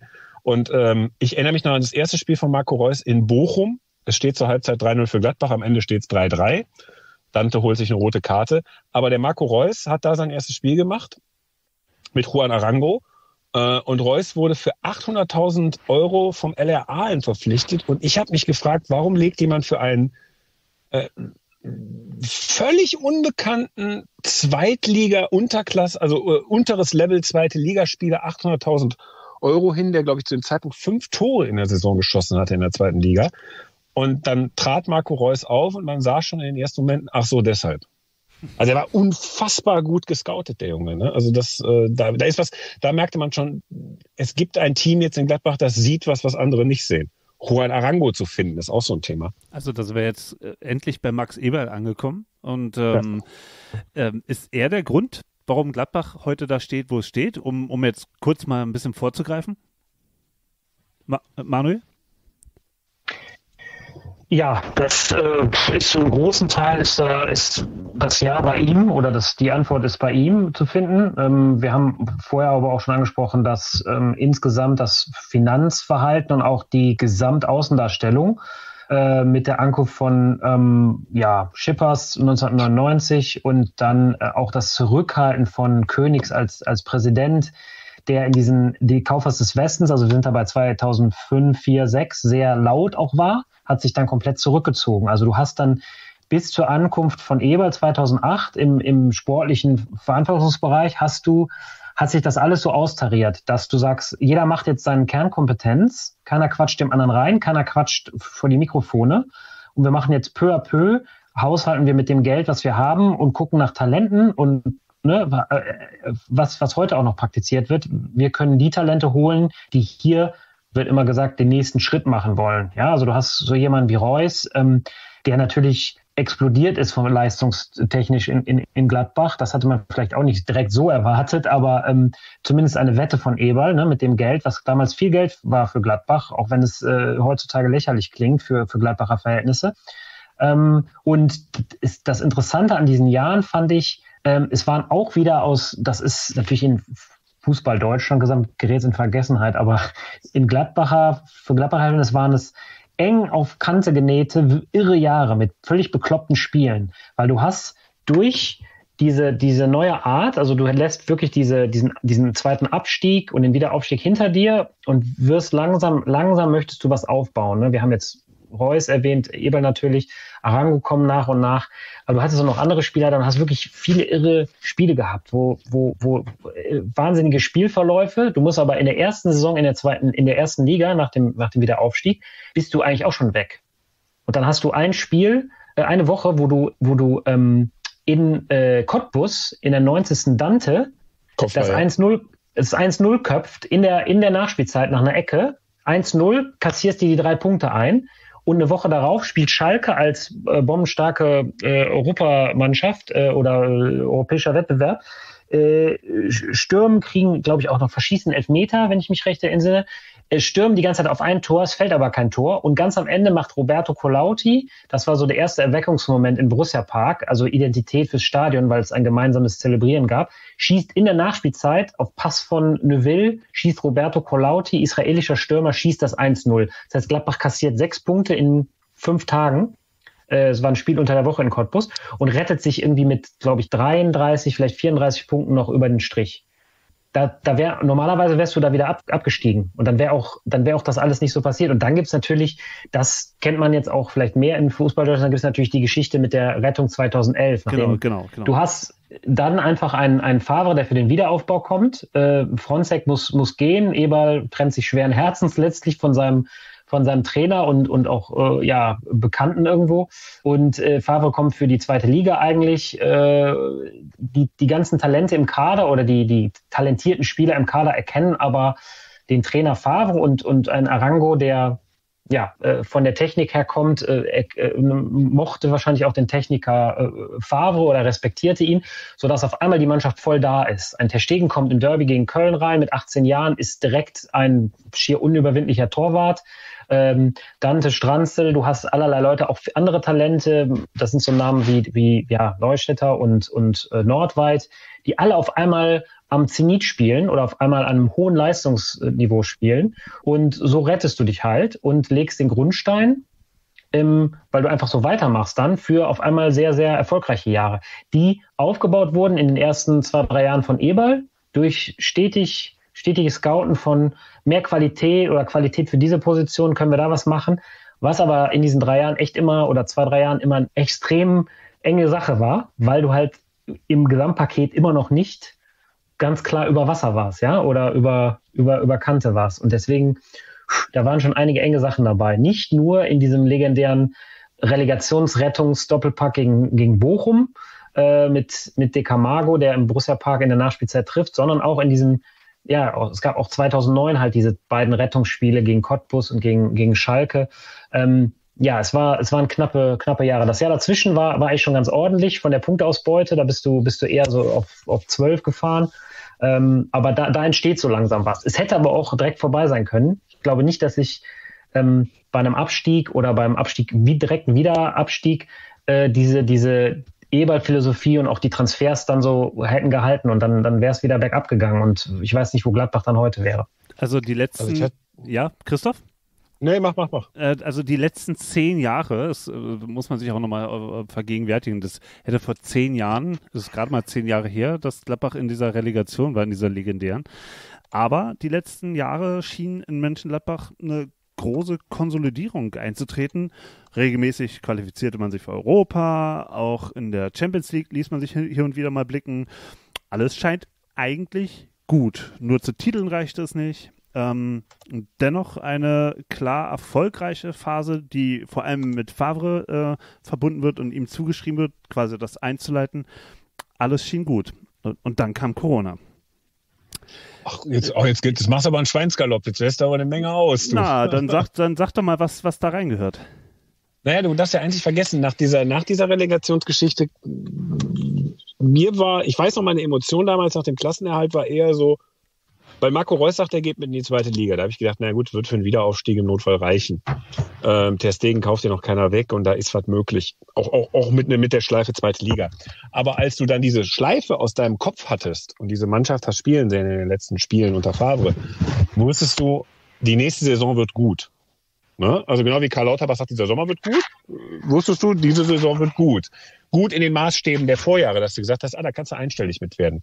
Und du hast so nach den ersten fünf, sechs Spielen irgendwann, ab, nach dem 5-1 gegen Bremen, wusstest du, die Mannschaft. Äh, 5-0, Entschuldigung. Der, der, der Ekici-Freistoß ging knapp gegen das Tor. Korrekt. Ähm, da wusste ich, scheiße, die sind sehr gut und die können diese Saison wirklich sehr hoch platziert. Äh, also sie werden wahrscheinlich Europapokal spielen. Eventuell geht sogar mehr als also Champions League. Ähm, da weiß ich noch meine Emotionen und das, das, das, das ergab für mich Sinn. Damals Patrick Herrmann bis zu seiner Verletzung in Kaiserslautern unfassbar gut hat. Favre den als den besten Stürmer mit in Europa bezeichnet, muss man auch mal drauf kommen, wenn heute rennt er nur noch geradeaus mit dem Ball äh, und dann meistens macht er die falsche Entscheidung, aber ist ein wichtiger Faktor für die Mannschaft. Und da hatte ich dann die nächste Emotion, das heißt, okay, wir haben uns für die Champions League Quali qualifiziert, hat dann noch nicht geklappt, sondern ging dann erstmal in die Europa League. Das heißt für mich jetzt erstmal, der Verein hat jetzt erstmal drei, vier Jahre Stabilität gewonnen und kann da was drauf ausbauen. Und das ist dann immer weitergegangen, immer weitergegangen, immer weitergegangen. Der Verein war jetzt immer einstellig äh, seit der Relegation, haben nur zwei andere Vereine geschafft, nämlich Dortmund und Bayern. Ist also demnach der dritt erfolgreichste Verein auf dem Papier. Ähm, wenn man so eine ewige Tabelle macht, ich glaube, wenn man das ausrechnet, müsste Gladbach da auf drei kommen oder auf vier. Ähm, man findet immer wieder neue Spieler, so im Bereich 8 Millionen, 10 Millionen, ähm, wo man sagt, die, hat man, die haben einen hohen Wiederverkaufs-, Weiterverkaufswert. Jetzt haben wir ja Markus Thüram, was wir nicht haben in Mönchengladbach ist, dass mal Spieler aus der eigenen Jugend hochkommen. Das endete mit Toni Janschke, Ter Stegen und Patrick Herrmann. Das gehört zur kritischen Betrachtung auch dazu, dass man sehr viel von außen holt und da immer sehr gut scoutet, aber nach innen im Jugendbereich durchaus, gerade bei den Anlagen, bei, der, bei dem Platz, den man hat mit Rieseninternat, also es ist schon sehr, sehr gehobene Klasse in, in, in der Fußball-Bundesliga, dass man da nichts wirklich hocharbeitet. Aber dieser Verein ist so unfassbar übererfolgreich. Also man könnte fast schon sagen, so die Leistungen, die in diesen Zehnerjahren jetzt vollbracht worden sind, sind eigentlich so, weil du ja am Anfang gefragt hast, mit den 70er Jahren, wie lässt das erklären? Ähm, das ist ein planerisches Meisterstück, das kann man fast höher bewerten als die 70er. Weil bei den 70er Jahren haben wir ja diesen Faktor Glück am Anfang reingepackt und bis auf die Geschichte gegen Bochum oder diese, was Manuel beschrieb, diese mehrfachen Momente auf der Kante, ab so dieser Champions League Qualifikation war das weniger Glück. Es wurde vielleicht sogar an der einen oder anderen Stelle underperformed, ähm, mhm. wenn man ganz kritisch damit umgeht. Ja, da, da bin ich bin ich sehr bei dir bei und man muss auch äh, Eberl ist natürlich bekannt für für gewisse Aussagen wie dieses ja wissen wo wir herkommen ne, als Verein die Einstelligkeit und Hörer haben jetzt ja auch ein Gefühl davor wo, wo Gladbach herkommt ne, wenn man so die letzten zwei Stunden jetzt Revue passieren lässt aber ein wichtiger ein wichtiger Aspekt den er auch immer wieder angesprochen ist hat ist im Profifußball geht es darum ähm, Wahrscheinlichkeiten in, in, zu seinem Vorteil zu, zu lenken. Wie hoch ist die Wahrscheinlichkeit, dass wir in der Saison, in der wir Sechster werden, dass wir in der Folgesaison 15. werden, weil mir mein Schlüsselspieler ausfällt? Oder wie hoch ist die Wahrscheinlichkeit, dass wir einfach wieder Fünfter werden, wenn wir das und das richtig machen? Und ich glaube, das ist, hat auch sehr viel sein, sein Denken beeinträchtigt. Und ich finde das einen sehr wichtigen Aspekt, weil du auch sehr gut den externen Vergleich hast zu Vereinen wie Jüngstes Beispiel Schalke. Du hast aber vorher den HSV gehabt, du hast Werder Bremen, du hast etliche Vereine, die sehr äh, ja, Stammgäste im internationalen Wettbewerb waren, sich auch teilweise dann als, als Konkurrenz zum, zu den Bayern gesehen haben und äh, aber immer dieses Risiko durch die durch hohe Investitionen in den Spieleretat gegangen sind und ähm, äh, da hast du halt dieses Problem, wenn du halt zwei drei Misserfolge hast bei diesen Transfers, bist du schnell auf, auf der falschen Fährte. Und ähm, bei, bei, bei Gladbach ging es in diesem Jahrzehnt, und das ist die Erfolgsgeschichte, und das ist halt zum, zum Ärgernis vieler Fans oft gewesen, dass du sagst, du machst jetzt nicht einen fetten Schritt nochmal nach vorne von Platz fünf, sondern du sagst dir, ach, nochmal Sechster, jetzt nach dem fünften Platz wäre auch gut. Das hat halt viele geärgert. Und natürlich als Fan manchmal ärgert es einen auch, aber auf langfristige Sicht gefahren ist das halt einfach die beste Lösung, weil du minimierst die, das Risiko, einfach wieder abzustürzen, weil dir irgendein Kreuzband reißt oder irgendwer weggekauft wird im Winter und das war's dann. und das wurde in Gladbach immer sehr gut vermieden, ja? Das könnte man aber auch negativ, äh, Negativbeispiel nehmen, wo man sagt, naja, Hauptsache irgendwie im, in der Liga bleiben. Newcastle United hatte ja auch vor einigen Jahren den Ruf gehabt, eigentlich nicht mehr zu tun, als in der Liga irgendwie zu bleiben, um an den Fernsehgeldern dran zu bleiben, um sich zu, ja, um, um auf diese Art und Weise zu wirtschaften, was du ja auch gerade äh, indirekt ein bisschen bestätigt hast, dass es halt als Fan auch sehr unzufriedenstellend ist, wenn du dich eigentlich nie wirklich nach etwas mehr äh, streckst als das, einfach nur in der Liga zu bleiben und nicht abzusteigen. Hm. Ich glaub, ja, ich glaube, ich glaube, da ist aber schon äh, die, die, die, die Tatsache, dass intern natürlich geguckt wurde, dass du mehr und mehr Talent reinkriegst. Da hast du jetzt das Problem seit 2015 gehabt, seit 2014, dass dir so die, die, die, die Nachwuchstalente da auf der Strecke bleiben, weil der Sprung, weil diese Lücke so groß wird, dass du direkt servieren muss fürs internationale Geschäft, dass du nicht ein Talent hast, was sich vielleicht mal beim anderen Bundesligist dann auch etablieren kann, sondern du, du zielst schon direkt auf dieses obere Bundesliga-Drittel. Ich glaube, intern wurde schon geguckt, dass du stetig und immer wieder die Qualität steigerst. Ähm, nur äh, viel, viel, was ich jetzt anspreche, ist halt einfach auch die Außendarstellung, wo andere Vereine gesagt haben, wir wollen in die Champions League dieses Jahr nach Platz fünf, hat halt Gladbach gesagt, wir wollen einstellig bleiben oder wir wollen um Europa mitspielen. Immer sehr defensiv formuliert und das hat halt vor allem Leute auf die Palme gebracht, dass der, der Fußball war ja in den meisten Jahren äh, sehr, sehr ansehnlich trotz allem. Dann wegen gewisser Details wurde das halt dann im einen oder anderen Jahr verfehlt, für sich für die Champions League oder halt auch für Europa gesamt mal zu qualifizieren.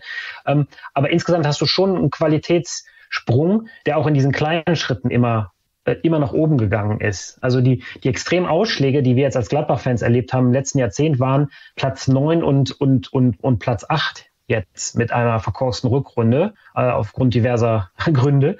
Ähm, das ist aber schon das Ende der Fahnenstange fast in Gladbach. Und wenn du nach oben ausschlägst, wir waren äh, im 2019 waren wir ähm, sechs Wochen lang Tabellenführer der Bundesliga. Das ist eigentlich auch ja ziemlich extrem, wenn du siehst, wie unwahrscheinlich es ist, du sprachst Titel an, ist es, dass Gladbach Titel holt. Das ist extrem unwahrscheinlich, weil einfach Vereine wie Bayern München mit einem, mit einem dreifachen, vierfachen Spieleretat operieren ähm, und äh, Dortmund, Leipzig noch dazu kommen, dann, äh, dann hast du natürlich auch Leute, äh, Vereine wie Leverkusen etc. Da bist du fast schon, da bist, weißt du schon, wo du stehst am Ende. Ähm, ich, äh, Christoph hat Tyram angesprochen, das sind ja jetzt aber auch Spieler, die, die kommen und die nach einem Jahr, nach zwei Jahren schon in den 30er Millionen Marktwerten sind. Das sind alle Spieler, die jetzt gehandelt werden, die eventuell noch gehen nach der EM jetzt. Ähm, Spieler wie Thuram, auch äh, vielleicht Zakaria, Ginter, das sind alles Leute, die in diesen Marktwertsphären sind, wo auch wir vor fünf oder, oder sechs oder sieben Jahren noch eher bei geringeren Werten waren, jetzt also Inflation eingerechnet. Von daher, es ist schon, es, ist, es sieht schon aus nach einem stetigen Auf und Ab. Aber äh, klar, ich gebe dir recht, wenn zu einer gewissen Zeit, äh, natürlich, das ist halt dieser Konflikt, den, den, den, der immer gelebt wurde oder diskutiert wurde, halt, dass es so ein bisschen widermännisch gehandhabt wurde, der, der Aufstieg ne, von, von Eberl. Aber also, ich glaube, ich glaube, insgesamt gibt, gibt das Jahrzehnt ihm recht. ja, gibt's ihm, gibt's ihm, aber es gibt halt die, die, die, äh, es gibt so ein paar Nuancen, die einfach zum letzten äh, Schritt, das wäre so phrasig, einfach fehlen und die auch nervig sind dann mit der Dauer. Also es gibt einfach zu viele Spiele, wo du merkst, Borussia Dortmund würde dieses Spiel mentalitätsmäßig nicht verlieren. Der FC Bayern würde es nicht verlieren und RB Leipzig mit vergleichbaren Kadern teilweise auch nicht. Gladbach verliert das, wo du halt merkst, die Spieler haben, du lebst ja in diesem in diesem Umfeld, wie wir das beschrieben haben, mit diesem ewigen Spagat des Wissens, wo wir herkommen, wo man sich mal eher zu Mainz 05 macht, als dass man sich zu den Großen zählt, da lebst du ja mit. Also entsprechend ist dann auch dieser letzte Meter, den du gehst, sagen so, das Ding gewinnen wir jetzt einfach noch Feierabend, weil wir sind Borussia Mönchengladbach, der ist nicht vorhanden. Mm, das nervt dich manchmal, aber das ist geschenkt. Was jetzt so, du hast ja Corona angesprochen, was nicht unter Corona was jetzt, glaube ich, auch so, aber auch so ein Switch bei Max Eberl nochmal erkennbar lässt ähm, gezeigt hat, Gladbach ist mit einem sehr hohen Eigenkapital, das Stadion gehört dem Verein, das, der Verein lässt selber Eis produzieren durch eine Fremdfirma, daran verdienen die selber auch noch Geld im Stadion. Also da ist jede Mark, die irgendwie im Stadion verdient werden kann, geht in das Säckel von Borussia Mönchengladbach. Man äußert sich ums Frecken nicht an irgendwelche Außenstehenden, sondern man will alles selber in der Hand haben. Das heißt, wenn Gladbach Stadionlicht anknipst und es können Fans rein, nimmt der Verein brutto mehr ein als ganz, ganz viele andere Clubs in Deutschland. Da gibt's nur wenige. Und ähm, die Geschichte von Gladbach ist halt dann an dem Moment, und dadurch konnte in der Corona-Phase der Kader zusammengehalten worden, werden. Ein Kader, der über sechs Wochen in der Bundesliga Tabellenführer war. Nicht zu Unrecht. Ein Kader, der auf dem vierten Platz gelandet ist und ein Kader, der in der Champions League in der darauffolgenden Saison durchaus teilweise gezeigt hat, was er kann. Dieser Kader wird Achter. Ich glaube, die letzte Saison der Corona-Pandemie war durch Glück, äh, weil man den Kader halt eben zusammenhalten konnte. Die Eigenkapitalquote ist immer noch sauhoch in Mönchengladbach. Wir haben gerade die aktuellen Zahlen bekommen, 83 Millionen Euro. Ähm, da träumen manche Vereine von nach diesem Jahr. Und trotzdem wird man dann nur Achter mit so einem Ding, wo du denkst, so, was war das denn jetzt? Mit einem Trainer, der, wo man sagt, wo andere Vereine hätten den allein aus Selbstverständnis heraus entlassen ähm, aber man hat es durchgezogen und am Ende waren alle irgendwie unzufrieden, weil man irgendwo so, so ein Once-in-a-Lifetime-Kader auch nach so einem Jahrzehnt irgendwo nicht das Beste draus gemacht hat. Ähm, da ging deutlich mehr. Und wenn man sich fragt, wann, wann schwächeln mal die Bayern und wann kommen mal diese Planeten in irgendeiner Konstellation zusammen, dass man massives Glück hat. Bayern schwächeln, Dortmund läuft nicht so ganz, Leipzig ist auf Augenhöhe. Äh, dann kann man durchaus doch mal den Anspruch haben in Gladbach, dann möchten wir zumindest die Option auf diesen Titel mitnehmen, weil wir uns das ja auch erarbeitet haben. Auch wenn es sehr unwahrscheinlich ist, was Manuel sagt. Und insofern hat man bei Corona eine Chance vertan. Ich sehe aber in Mönchengladbach gerade eine Chance, die sich durch Corona auftut. Man hat Geld, um zu reagieren in der nächsten Saison, kann aber jetzt erstmal entspannt den Transfermarkt abwarten, weil alle was zögerlich sind. Und man kann diesen diesen Leck, den man hat mit eigenen Spielern aus dem eigenen Internat, weil alle Vereine werden diesen Weg irgendwie jetzt etwas stärker gehen müssen, weil sie Geld sparen müssen. Jetzt hat man vielleicht mal die Chance, den ein oder anderen aus den eigenen Talentreihen zu testen, auszuprobieren. Das ist ja auch das Anforderungsprofil an den neuen Trainer, an Adi Hütter, dass er ganz klar gesagt bekommen hat, du musst auch eigene Spieler hier entwickeln, die wir dir aus dem Fohlenstall, heißt das Nachwuchszentrum, dahinstellen.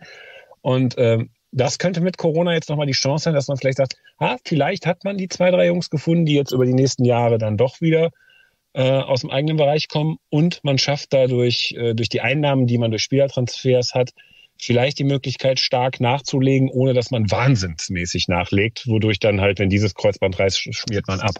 Also wenn das strategisch aufgeht, äh, kann das gut gewesen sein, die Corona-Zeit, auch wenn das mit einem sportlich sehr unbefriedigenden Ergebnis äh, zu Ende gegangen ist mit dem achten Platz. Sehr zur Freude übrigens von Union Berlin, deinem Verein. Ich wollte gerade sagen, also das, das Rücklicht von Union Berlin muss ja in Gladbach auch für eher unzufriedenstellende äh, ja, Emotionen gesorgt haben. Ähm, ja, aber jetzt die letzte Saison, Marco Rose, das war ähm, eher, eher, eher bitter, eher trist, eher, ja, ich, ich, ich wäre vielleicht sogar wütend gewesen an eurer Stelle. Ähm, aber nun kommt Adi Hütter aus Frankfurt. Ist es ein neuer Impuls? Vielleicht, ja, nein, werden wir sehen. Könnt ihr mir vielleicht auch gleich sagen, trotzdem wäre ich den Eindruck nicht los, dass man bei der Borussia im Moment in eine, obwohl es wirtschaftlich gerade so gut läuft, äh, ungewisse Zukunft geht. Also funktioniert Höter nicht. Äh, muss ich vielleicht Max Eber auch an der Entscheidung ähm, zu früh Marco Rose, äh, zu spät Marco Rose sozusagen herausgelassen zu haben aus dem Verein, ähm, fragen lassen, ob er nicht tatsächlich für die Spieler ein, guter, ein gutes Händchen hat, aber nicht für die Trainer mehr. Ja, ja, interessanter Punkt. Also äh, natürlich, natürlich äh, ist so der überwiegende Teil der Gladbacher Fans überzeugt, äh, dass, dass, dass Rose hätte früher gehen müssen oder dass man anders hätte reagieren müssen. Ich verstehe aber, äh, ohne jetzt wieder in die Details dieser Rückrunde zu gehen, ich verstehe aber Max Eberls Handhabung, äh, seiner Linie treu zu bleiben und zu sagen, das geht auf mich und wir machen das hier zu Ende mit ihm. Vielleicht auf kurzfristigen Schaden ausgelegt. Ähm, und er hat das jetzt im Sommer nochmal wiederholt, zu sagen, äh, die Leute, mit denen ich weiter zusammenarbeiten will in der Bundesliga, also Spieler wie Verantwortliche, äh, haben den, da hätte ich das Gesicht verloren, wenn ich gesagt hätte, Rose, hau ab, wir machen, du bist weg, weil du, weil du den Verein wechselst. Ähm, also da ist auch wieder viel langfristiges Denken. Wird sich, wird sich natürlich zeigen, wie, wie viel das jetzt wert war in den nächsten, in den nächsten ein, zwei Jahren. Ähm, du hast in dem Punkt völlig recht, als dass es ungewiss ist. Christoph hat die, hat das Potenzial und die Chancen aufgezeigt. Äh, natürlich ist aber auch den Nachwuchs jetzt auf einmal einzubauen oder vielleicht auch einbauen zu müssen, immer ein, ein gewisses Risiko. Also du hast Leute wie, ähm, wie halt ein Rocco Reitz, der schon, der schon äh, zwei Bundesligaspiele hatte in, der Vorsaison. Dann hast du einen Joe Scully, der als Außenspieler reinkommt, interessanter Spieler, ähm, alle sehr jung, die vielleicht ja, wenn diese Saison jetzt eine Champions League-Saison geworden wäre, vielleicht doch noch gar nicht so berücksichtigt würden. Aber, aber aufgrund von Corona und des, des achten Platzes wird das vielleicht äh, konkreter. Ähm, du, du hast einige Namen da und äh, musst aber gucken, wie du das direkt aus, ans Laufen kriegst mit so jemandem wie, wie, wie Hütter. Ich bin bei ihm eigentlich äh, beim Trainer sehr optimistisch, weil ich glaube, dass den Fußball, den Rose in seinen guten Zeiten bei uns gezeigt und spielen gelassen hat, auch ein Fußball ist, den wir bei Hütter sehen werden. Also das ist halt auch die Schule der vorwärtsdenkenden äh, Spieler, sehr äh, Trainer sehr viel sehr viel Druck aufbauen, ähm, ob das jetzt Pressing genannt wird oder äh, extrem mit Außenspielern arbeiten, was jetzt so ein bisschen der Trend natürlich der EM war, dass wir viel gesehen haben, dass die Außen Verteidiger oder Außenstürmer, das eigentlich das Spiel fast entscheiden, äh, wird sich zeigen, wie viel er davon macht. Da hat er einiges in Frankfurt gezeigt und da bin ich eigentlich recht positiv und auch habe richtig Bock drauf, dass er da was in Gladbach zeigt.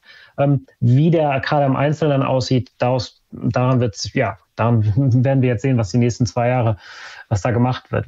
Viel, viel ist jetzt wirklich in der Schwebe, ähm, da wir das im, ne, Mitte Juli aufnehmen, was jetzt wirklich noch in dem Monat passiert, wer jetzt noch geht, weil dann kommen erst die, kommt erst die Kugel des Transfermarkts ins Rollen. Ähm, wenn jetzt ein Tyram wurde genannt, wenn er, wenn er geht oder vielleicht sogar auch ein Ginter, Zakaria, dann werden enorme Summen freigemacht, dann ist das Corona-Loch definitiv direkt gestoppt und dann können vielleicht noch andere Transfers kommen. Und wenn das wieder so Eber-Transfers sind, im, im, unter dem Radarspieler, dann kannst du auch relativ schnell was Interessantes haben. Aber eine gewisse Ungewissheit ist durchaus da, da gebe ich dir recht.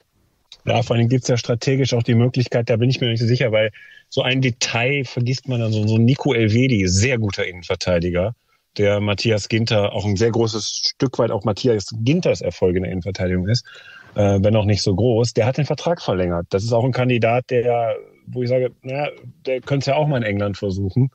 Ähm, nee, der hat einen Vertrag verlängert, der bleibt. Wir wissen bei Matthias Ginter und Dennis Zakaria, äh, ich rechne zumindest bei Dennis Zakaria damit, dass er geht. Aber so, so manchmal denke ich mir auch, hm, was ist eigentlich, wenn die alle verlängern, weil sie sagen, so in dieser unsteten Zeit nochmal zwei Jahre in Gladbach zu verbringen, who cares? Machen wir halt einen geilen Erfolg.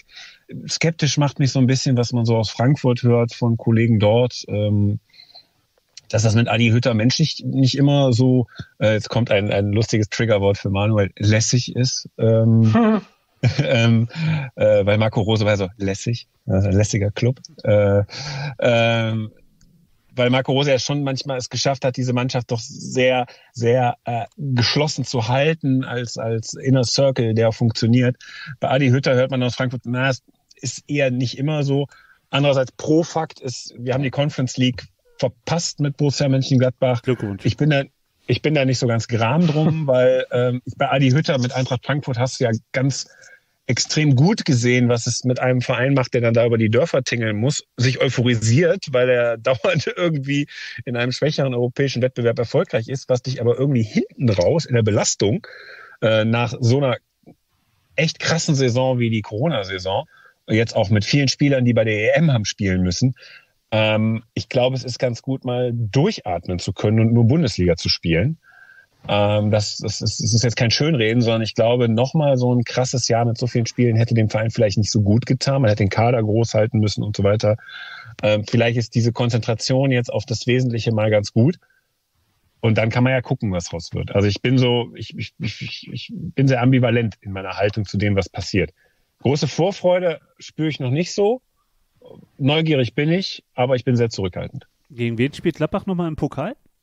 Äh, in Lautern. Ganz toll. Also das kann tatsächlich, äh, wenn man da einen blöden Tag erwischt und die ihren Heimvorteil mit, mit Zuschauer vielleicht endlich mal wieder äh, nutzen und man schaltet so aus, kann das tatsächlich auch eine ziemlich unangenehme Saison sein, wenn man tatsächlich nur noch in der Bundesliga erfolgreich sein kann. Nö. Ey, mal, schon, schon, schon, schon, fiese Erstrunden aus erlebt, auch mit Lucien Favre in Darmstadt, die Nummer äh, Branimir Rigotta mit Panenka, äh, dem, dem Panenka-Trick äh, beim siebten Elfmeter. Um ihn dann nicht zu machen im Trikot von Eintracht Frankfurt im Pokal-Halbfinale gegen uns. Also nur, dass wir da nochmal über die Person Branimir Rigotta, vergessen Sie mir den nicht in der Gladbacher Vereinsgeschichte geredet haben. Aber nee, ich, ich bin auch diesem Pokal inzwischen so leidenschaftslos gegenüber, weil das ist ja das, der einzige Wettbewerb, den ich als Fan schon mal mitgewonnen habe. Äh, ich muss den nicht zwingend gewinnen. Ich habe es erlebt. Na, das ist doch mal ähm, fast ein schönes Schlusswort, aber ich habe tatsächlich noch eine, eine kleine, na, zwei, zwei kleine Fragen. Also wenn ich das jetzt so höre von euch, äh, wie sich Gladbach in den letzten 10, 15 Jahren entwickelt hat, ähm, auch wie er jetzt dasteht, der Verein wirtschaftlich relativ potent, also viel Eigenkapital. Ähm, natürlich dann diese ganze Folklore im Rucksack, ähm, da kann man immer was draus machen. Jetzt auch die Rückkehr vor ein paar Jahren mit Puma wieder auf den Trikots, das ist ja auch eine Sache, die äh, identitätsstiftend für viele Fans sein gewesen sein dürfte, auch für die Älteren. Ein tolles Stadion, was einem selber gehört. In seiner Region ist man weit die Nummer eins vor äh, Fortuna und FC, vielleicht noch Bayer Leverkusen als ein anderer Player auf Augenhöhe. Ähm, eigentlich steht der Verein so gesund da und so gut gerüstet für die Zukunft ähm, wie noch nie zuvor. Ähm, dennoch, was sind jetzt so in den nächsten Jahren eurer Meinung nach die Gefahren für den Verein? Und ähm, jetzt mal ganz absurd und, und, und äh, panisch gefragt, für den Standort äh, Fußball im, im, Niederrhein in Mönchengladbach. Gibt es da irgendwas, was da für ein böses Ende sorgen könnte? Irgendwann mal? Oder ist das so ein Verein für die Zukunft? Also ich habe keine, ich habe keine akuten äh, Albträume, was, was so das nächste Jahrzehnt angeht, dass sich da, dass da irgendwas stark einreißt. Ähm, Eberl, Eberl und, und, und Schippers, also die Verantwortlichen, haben Verträge bis 25. Ähm, Eberl scheint gewillt, wenn man so die, die, die Ansagen, Kampfansagen vielleicht deutet, äh, jetzt nochmal wirklich äh, trotz, trotz der ja jetzt schon langen ne, 13 Jahre oder jetzt ins 14. Jahr zu gehen, nochmal richtig was zu machen, bis er dann fast 20 Jahre vielleicht eventuell bei Gladbach ist, ähm, als, als äh, Funktionär, ne, als Spieler ja schon länger. Äh, und, und von daher bin ich da recht positiv gestimmt. Ähm, du bist bei vielen natürlich, was so Sponsoring angeht aus der Region, bist du beim Maximum und natürlich die Infrastruktur kannst du dann auch nicht nur mal so weit ausbauen. Ähm, aber äh, wie Christoph das vielleicht auch dargelegt hat, mit ein bisschen mehr Selbstverständnis und, und Gier, ähm, dass vielleicht das wirklich der letzte Schritt ist oder das beinhaltet, diese Art von, von Ansatz in, in die Saison zu gehen, ähm, solltest du darauf hingehen, vielleicht mal irgendwo einen Titel zu holen. Die deutsche Meisterschaft ist dann sicherlich mit einem Abstand das Unwahrscheinlichste. Aber wenn du sagst, du spielst im Europapokal, ähm, ich glaube, viele Gladbach-Fans haben in den vergangenen Jahren bei den, in den Europa League-Saisons auf das geschielt, als es mal, ähm, als es mal in die K.O.-Runden ging. Ja, Grüße ähm, an Herrn Klettenberg. Äh, ja. Fahren Sie Ihr Auto vor die Wand oder irgendwie sowas. Ja, unglückliches Ausscheiden gegen, gegen Schalke wegen der Unglücklich? war Beschiss. Du siehst, äh, der Stachel sitzt tief. Aber ähm, ja, das sind also die Sachen. Ähm, ich teile Christophs Ansicht nicht nur, weil ich einmal, weil ich mich auch noch daran erinnern kann an den DFB-Pokalsieg. Das wäre auch schon mal äh, wieder cool. Aber ich glaube, die Europapokalnummer wäre dann die absolute Nummer eins bei mir, weil aus der aus der Summe, ja. ähm, ne, also so Geilheit drauf und äh, Machbarkeit. Äh, das sind so die, das sind so die Aussichten. Und ich glaube, insgesamt hat einfach hat einfach das der Verein seit 2008, wahrscheinlich auch in der, im strukturellen seit 2000, ja, 2000 so gearbeitet, dass, dass dir das halt nicht irgendwie 2024 oder 26 alles in, in Sack und Asche steht und du, ähm, ja, du irgendwo nach, ähm, ich will jetzt keinem zu nahe treten, ja, äh, irgendwo in der zweiten und dritten Liga da rumdümpeln muss. Also ich bin bei einer Sache vielleicht äh, von mir so zum Schluss gelassen und bei einer Sache nicht. Gelassen bin ich bei der, bei der Perspektive zu sagen, ähm, Erstliga-Zugehörigkeit ist nie für die Ewigkeit, außer bei Bayern München. Äh, deshalb wird Gladbach irgendwann nochmal zweite Liga spielen. Ich glaube, ich werde es auch erleben. Mm, und insofern ähm, ist immer alles besser als das. Äh, zweite Geschichte, die mich halt immer noch umtreibt und wo ich halt den Verein immer noch gar nicht am Ende sehe, ist so die, ist da auf, da ist er noch sehr rückständig. Ist so, das hat der Verein noch mal identifiziert, da fehlt eine komplette Fangeneration. Äh, das Mehren der Fanbase über die eigene Stadt hinaus, die eigene Region hinaus wird immer schwerer im internationalen Fußball. Man muss quasi international spielen, um überhaupt bekannt zu sein. Wir haben mit die älteste Fanstruktur. Wenn man teilweise in Fanorganisationen reinblickt, dann sind da dieselben Nasen, die damals schon da gesessen haben, als äh, ich jetzt zum Beispiel aktiver Fan war, wenn auch nur kurz und heftig. Aber ähm, das sind immer noch dieselben Nasen mit denselben Weltsichten, ähm, will gar nicht wissen, wie man über Regenbogenflaggen da diskutiert. Äh, also das ist dann doch schon mit konservativ gut umschrieben. Das nervt mich manchmal. Da ist der Verein, da muss er langsam mehr auf Zack werden, weil man irgendwo äh, auf Dauer ja, wenn man weiter finanziell gut wirtschaften will, muss es ja auch irgendjemanden geben, der das, und jetzt kommt ein ganz böses Wort, Produkt auch annimmt und kauft. Und da kommst du mit den Schiebermützen, die an einem regnerischen Herbsttag im äh, Herbstnebel Gladbach gucken wollen, äh, damit wirst du äh, nicht längerfristig äh, international spielen. Guter, wichtiger Punkt. Schließe ich mich an. Und wie sieht Borussia Mönchengladbach im Jahr 2030 dann dementsprechend aus? Äh, also, also, was, was, was äh, muss, was, was, was wird eurer Meinung nach die Entwicklung in diesem Verein sein? Also mit dem, was jetzt da ist, ähm, mal angenommen, Gladbach setzt jetzt den Weg fort und spielt kontinuierlich immer wieder in Europa. Ähm, gewinnt zwar keine Titel, aber das, das, das Geld kommt in den Verein. Ähm, Popularität, hast du ja gerade gesagt, eher über Europa. Ähm, womit kann der Verein dann in Zukunft punkten und wie entwickelt sich dann so ein Verein? Wenn du das machst, wovon der HSV träumt, so ein bisschen da rankommst, dann hast du alles richtig gemacht. Oder, oder natürlich, du hast äh, trotzdem in fünf Jahren dann doch die äh, European Super League und äh, Dortmund, Leipzig und äh, Bayern sind weg und äh, dann, dann geht es wirklich um den Titel. Dann erwarte ich Abo-Meisterschaften. Aber am Laufe das ist ein Szenario, was mir gefallen würde, ja. Aber ja. tatsächlich, das, das, das, das habe ich auch gedacht. Äh, Gladbach schon wieder Meister. Als, äh. also das habe ich aber auch ernsthaft gedacht, ne? Also als es vor zwei Jahren hieß hier äh, Football Leagues und dann äh, die, die beiden verlassen die Bundesliga. Äh, von Leipzig hat, hat man ja damals so noch in der Form noch nicht gesprochen, dass die dann auch einfach mal weg sind. Heute kann ich mir das schon viel eher vorstellen.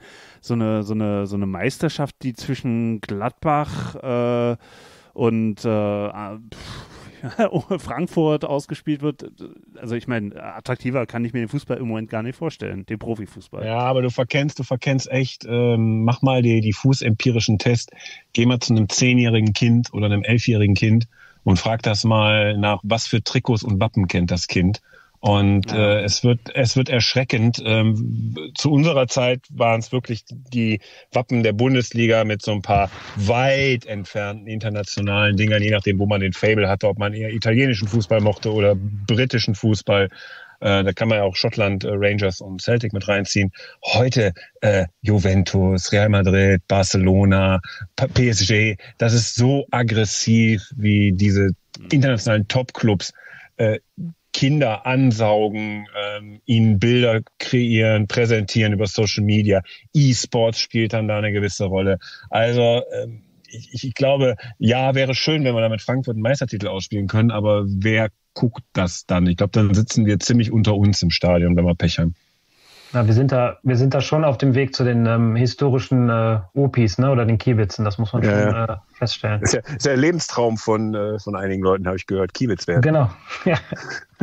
Kommt auf den Verein drauf an. Aber ähm, gut, dann sind wir jetzt schon bei der, bei der allerletzten Frage, die ich an euch habe. Und Christoph, du hast sie ja ähm, negativ beantwortet schon. Ähm, du hast gesagt, du wirst erleben, dass Gladbach nochmal zweite Liga spielt. Aber tatsächlich die Frage an euch beide. Und Christoph, fang doch gleich mal an. Ähm, glaubt ihr, dass ihr zu euren Lebzeiten doch nochmal eine deutsche Meisterschaft erleben werdet? Ja. Ich, ich, wünsche euch ein langes Leben übrigens. Ja, also. Ähm.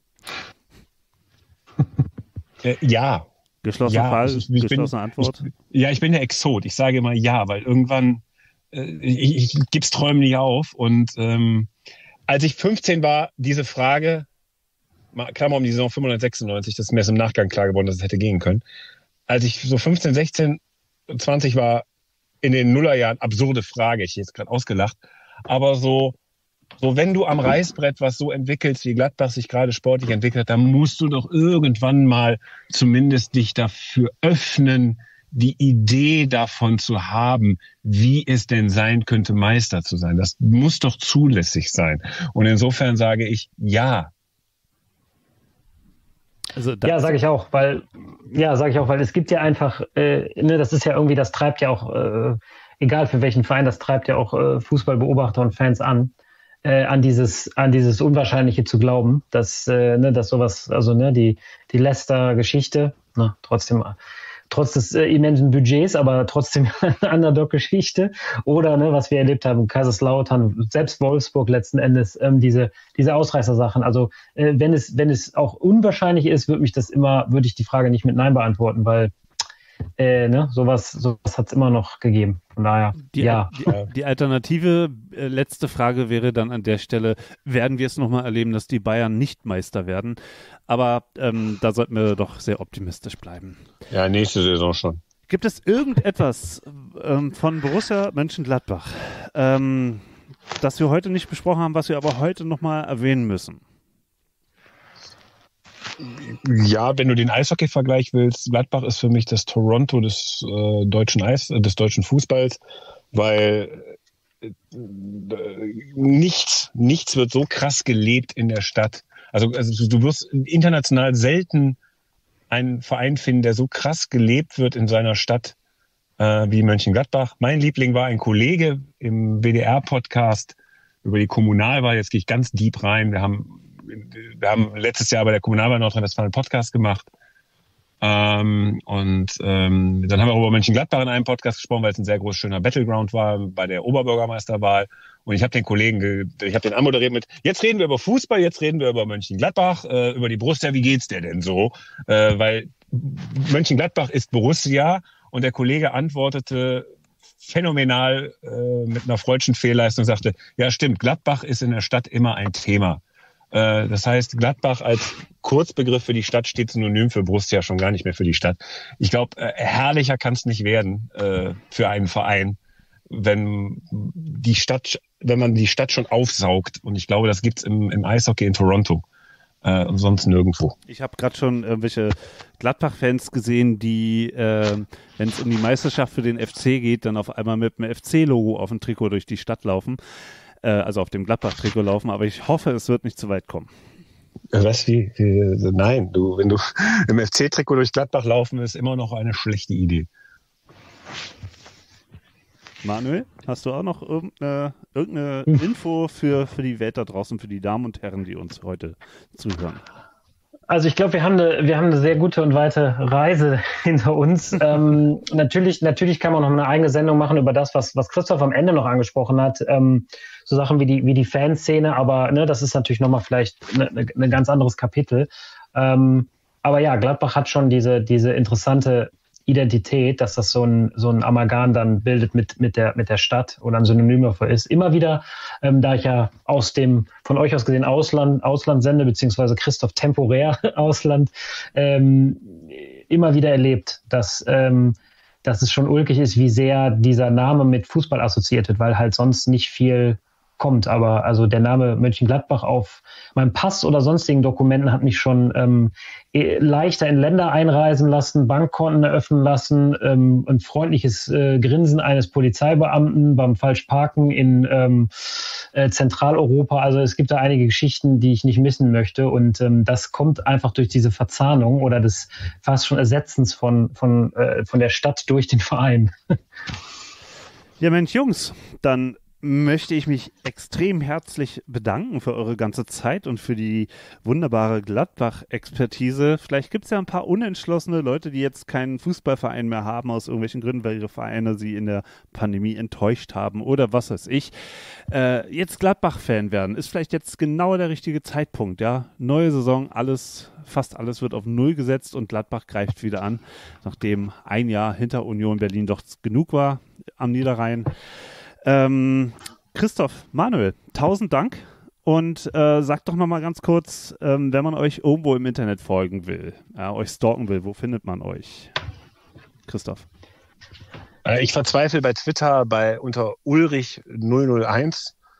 Hört die Shorthanded News, äh, den Eishockey-Podcast, den ich mit dem Kollegen Bernd Schwickerath mache, dessen Namen sich zu Beginn der Sendung der fiese Vincent Kruchen auch aus Düsseldorf zu eigen gemacht hat. Äh, wann geht's wieder los mit euch? Äh, das klären wir gerade. Äh, wir werden in der nächsten Woche ein ehrliches Gespräch führen über das, wie wir das äh, gestalten im nächsten Jahr. Wir haben ein paar Ideen mm, und müssen mal gucken, wie wir die umsetzen, weil ähm, wir natürlich auch mit Shorthanded News gucken müssen, inwieweit das in den Alltag integrierbar ist. Und da werden wir euch mit einigen neuen Konzepten sicherlich überraschen. Also statt mehr Hass, mehr Liebe, vielleicht? Neues Konzept? Nee, nee, nee inhaltlich nicht, sondern so menschenmäßig. Also, was okay. wir da so an Menschen noch einladen. Vielleicht auch mal Manuel, der dann sein Eishockeywissen ausbreiten kann. Jahrelange Expertise. Wir müssen ja auch insgesamt ja. kürzer werden in dem Podcast. So wie wir. Das, ja, wird, das wird passen. Hm. Ja, Manuel, und bei dir, äh, wenn man dir folgen will, dann wo? Ja, also äh, Fußball, Rants und Co. findet man bei mir auch bei auf Twitter ähm, binger05. Und äh, natürlich auch, äh, ihr seid gerne eingeladen, den Vollraute-Podcast mal zu hören, ähm, die deutsche Version äh, vollraute.de und dann gibt's noch Vollraute Abroad, das ich jetzt auch seit einigen Jahren mache auf, auf Englisch. Ähm, da gehen wir auch bald in die neue Saison, äh, dauert noch ein bisschen noch im Post-EM-Blues, aber ähm, es wird kommen. Und äh, ja, Vollraute Abroad auch noch, äh, auch beides auf Twitter zu finden. Und äh, ja, hört uns. Bei Vollraute reden die so lange über einzelne Spiele, wie wir jetzt gerade über den Verein insgesamt. Nicht zu schwache Nerven, ja. Nicht zu schwache Nerven und auch noch in Englisch. Also, ähm, das stelle ich mir spannend vor. Gut, ähm, dann möchte ich sagen, äh, mich findet man bei Twitter ab und zu äh, als äh, Ekel Alfred 78 und äh, Plattsport bei äh, überall als Plattsport und ähm, ja, wenn ihr auch noch Zeit habt, uns bei, äh, wie heißt es, ähm, Apple Podcasts zu bewerten, macht das doch mal. Ja, mit ehrlichen fünf Sternen und einem schönen Text. Macht das mal. Hast gehört, Winnie, ne? Noch bewerten. Schöne Grüße nach Düsseldorf. Und ähm, ja, jetzt kommt die Abschlussmelodie. Ich danke euch beiden. Bleibt gesund und auf bald. Macht's gut. Ciao. Ciao. Ciao.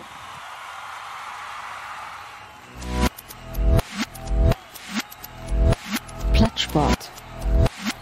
Der Sportpodcast.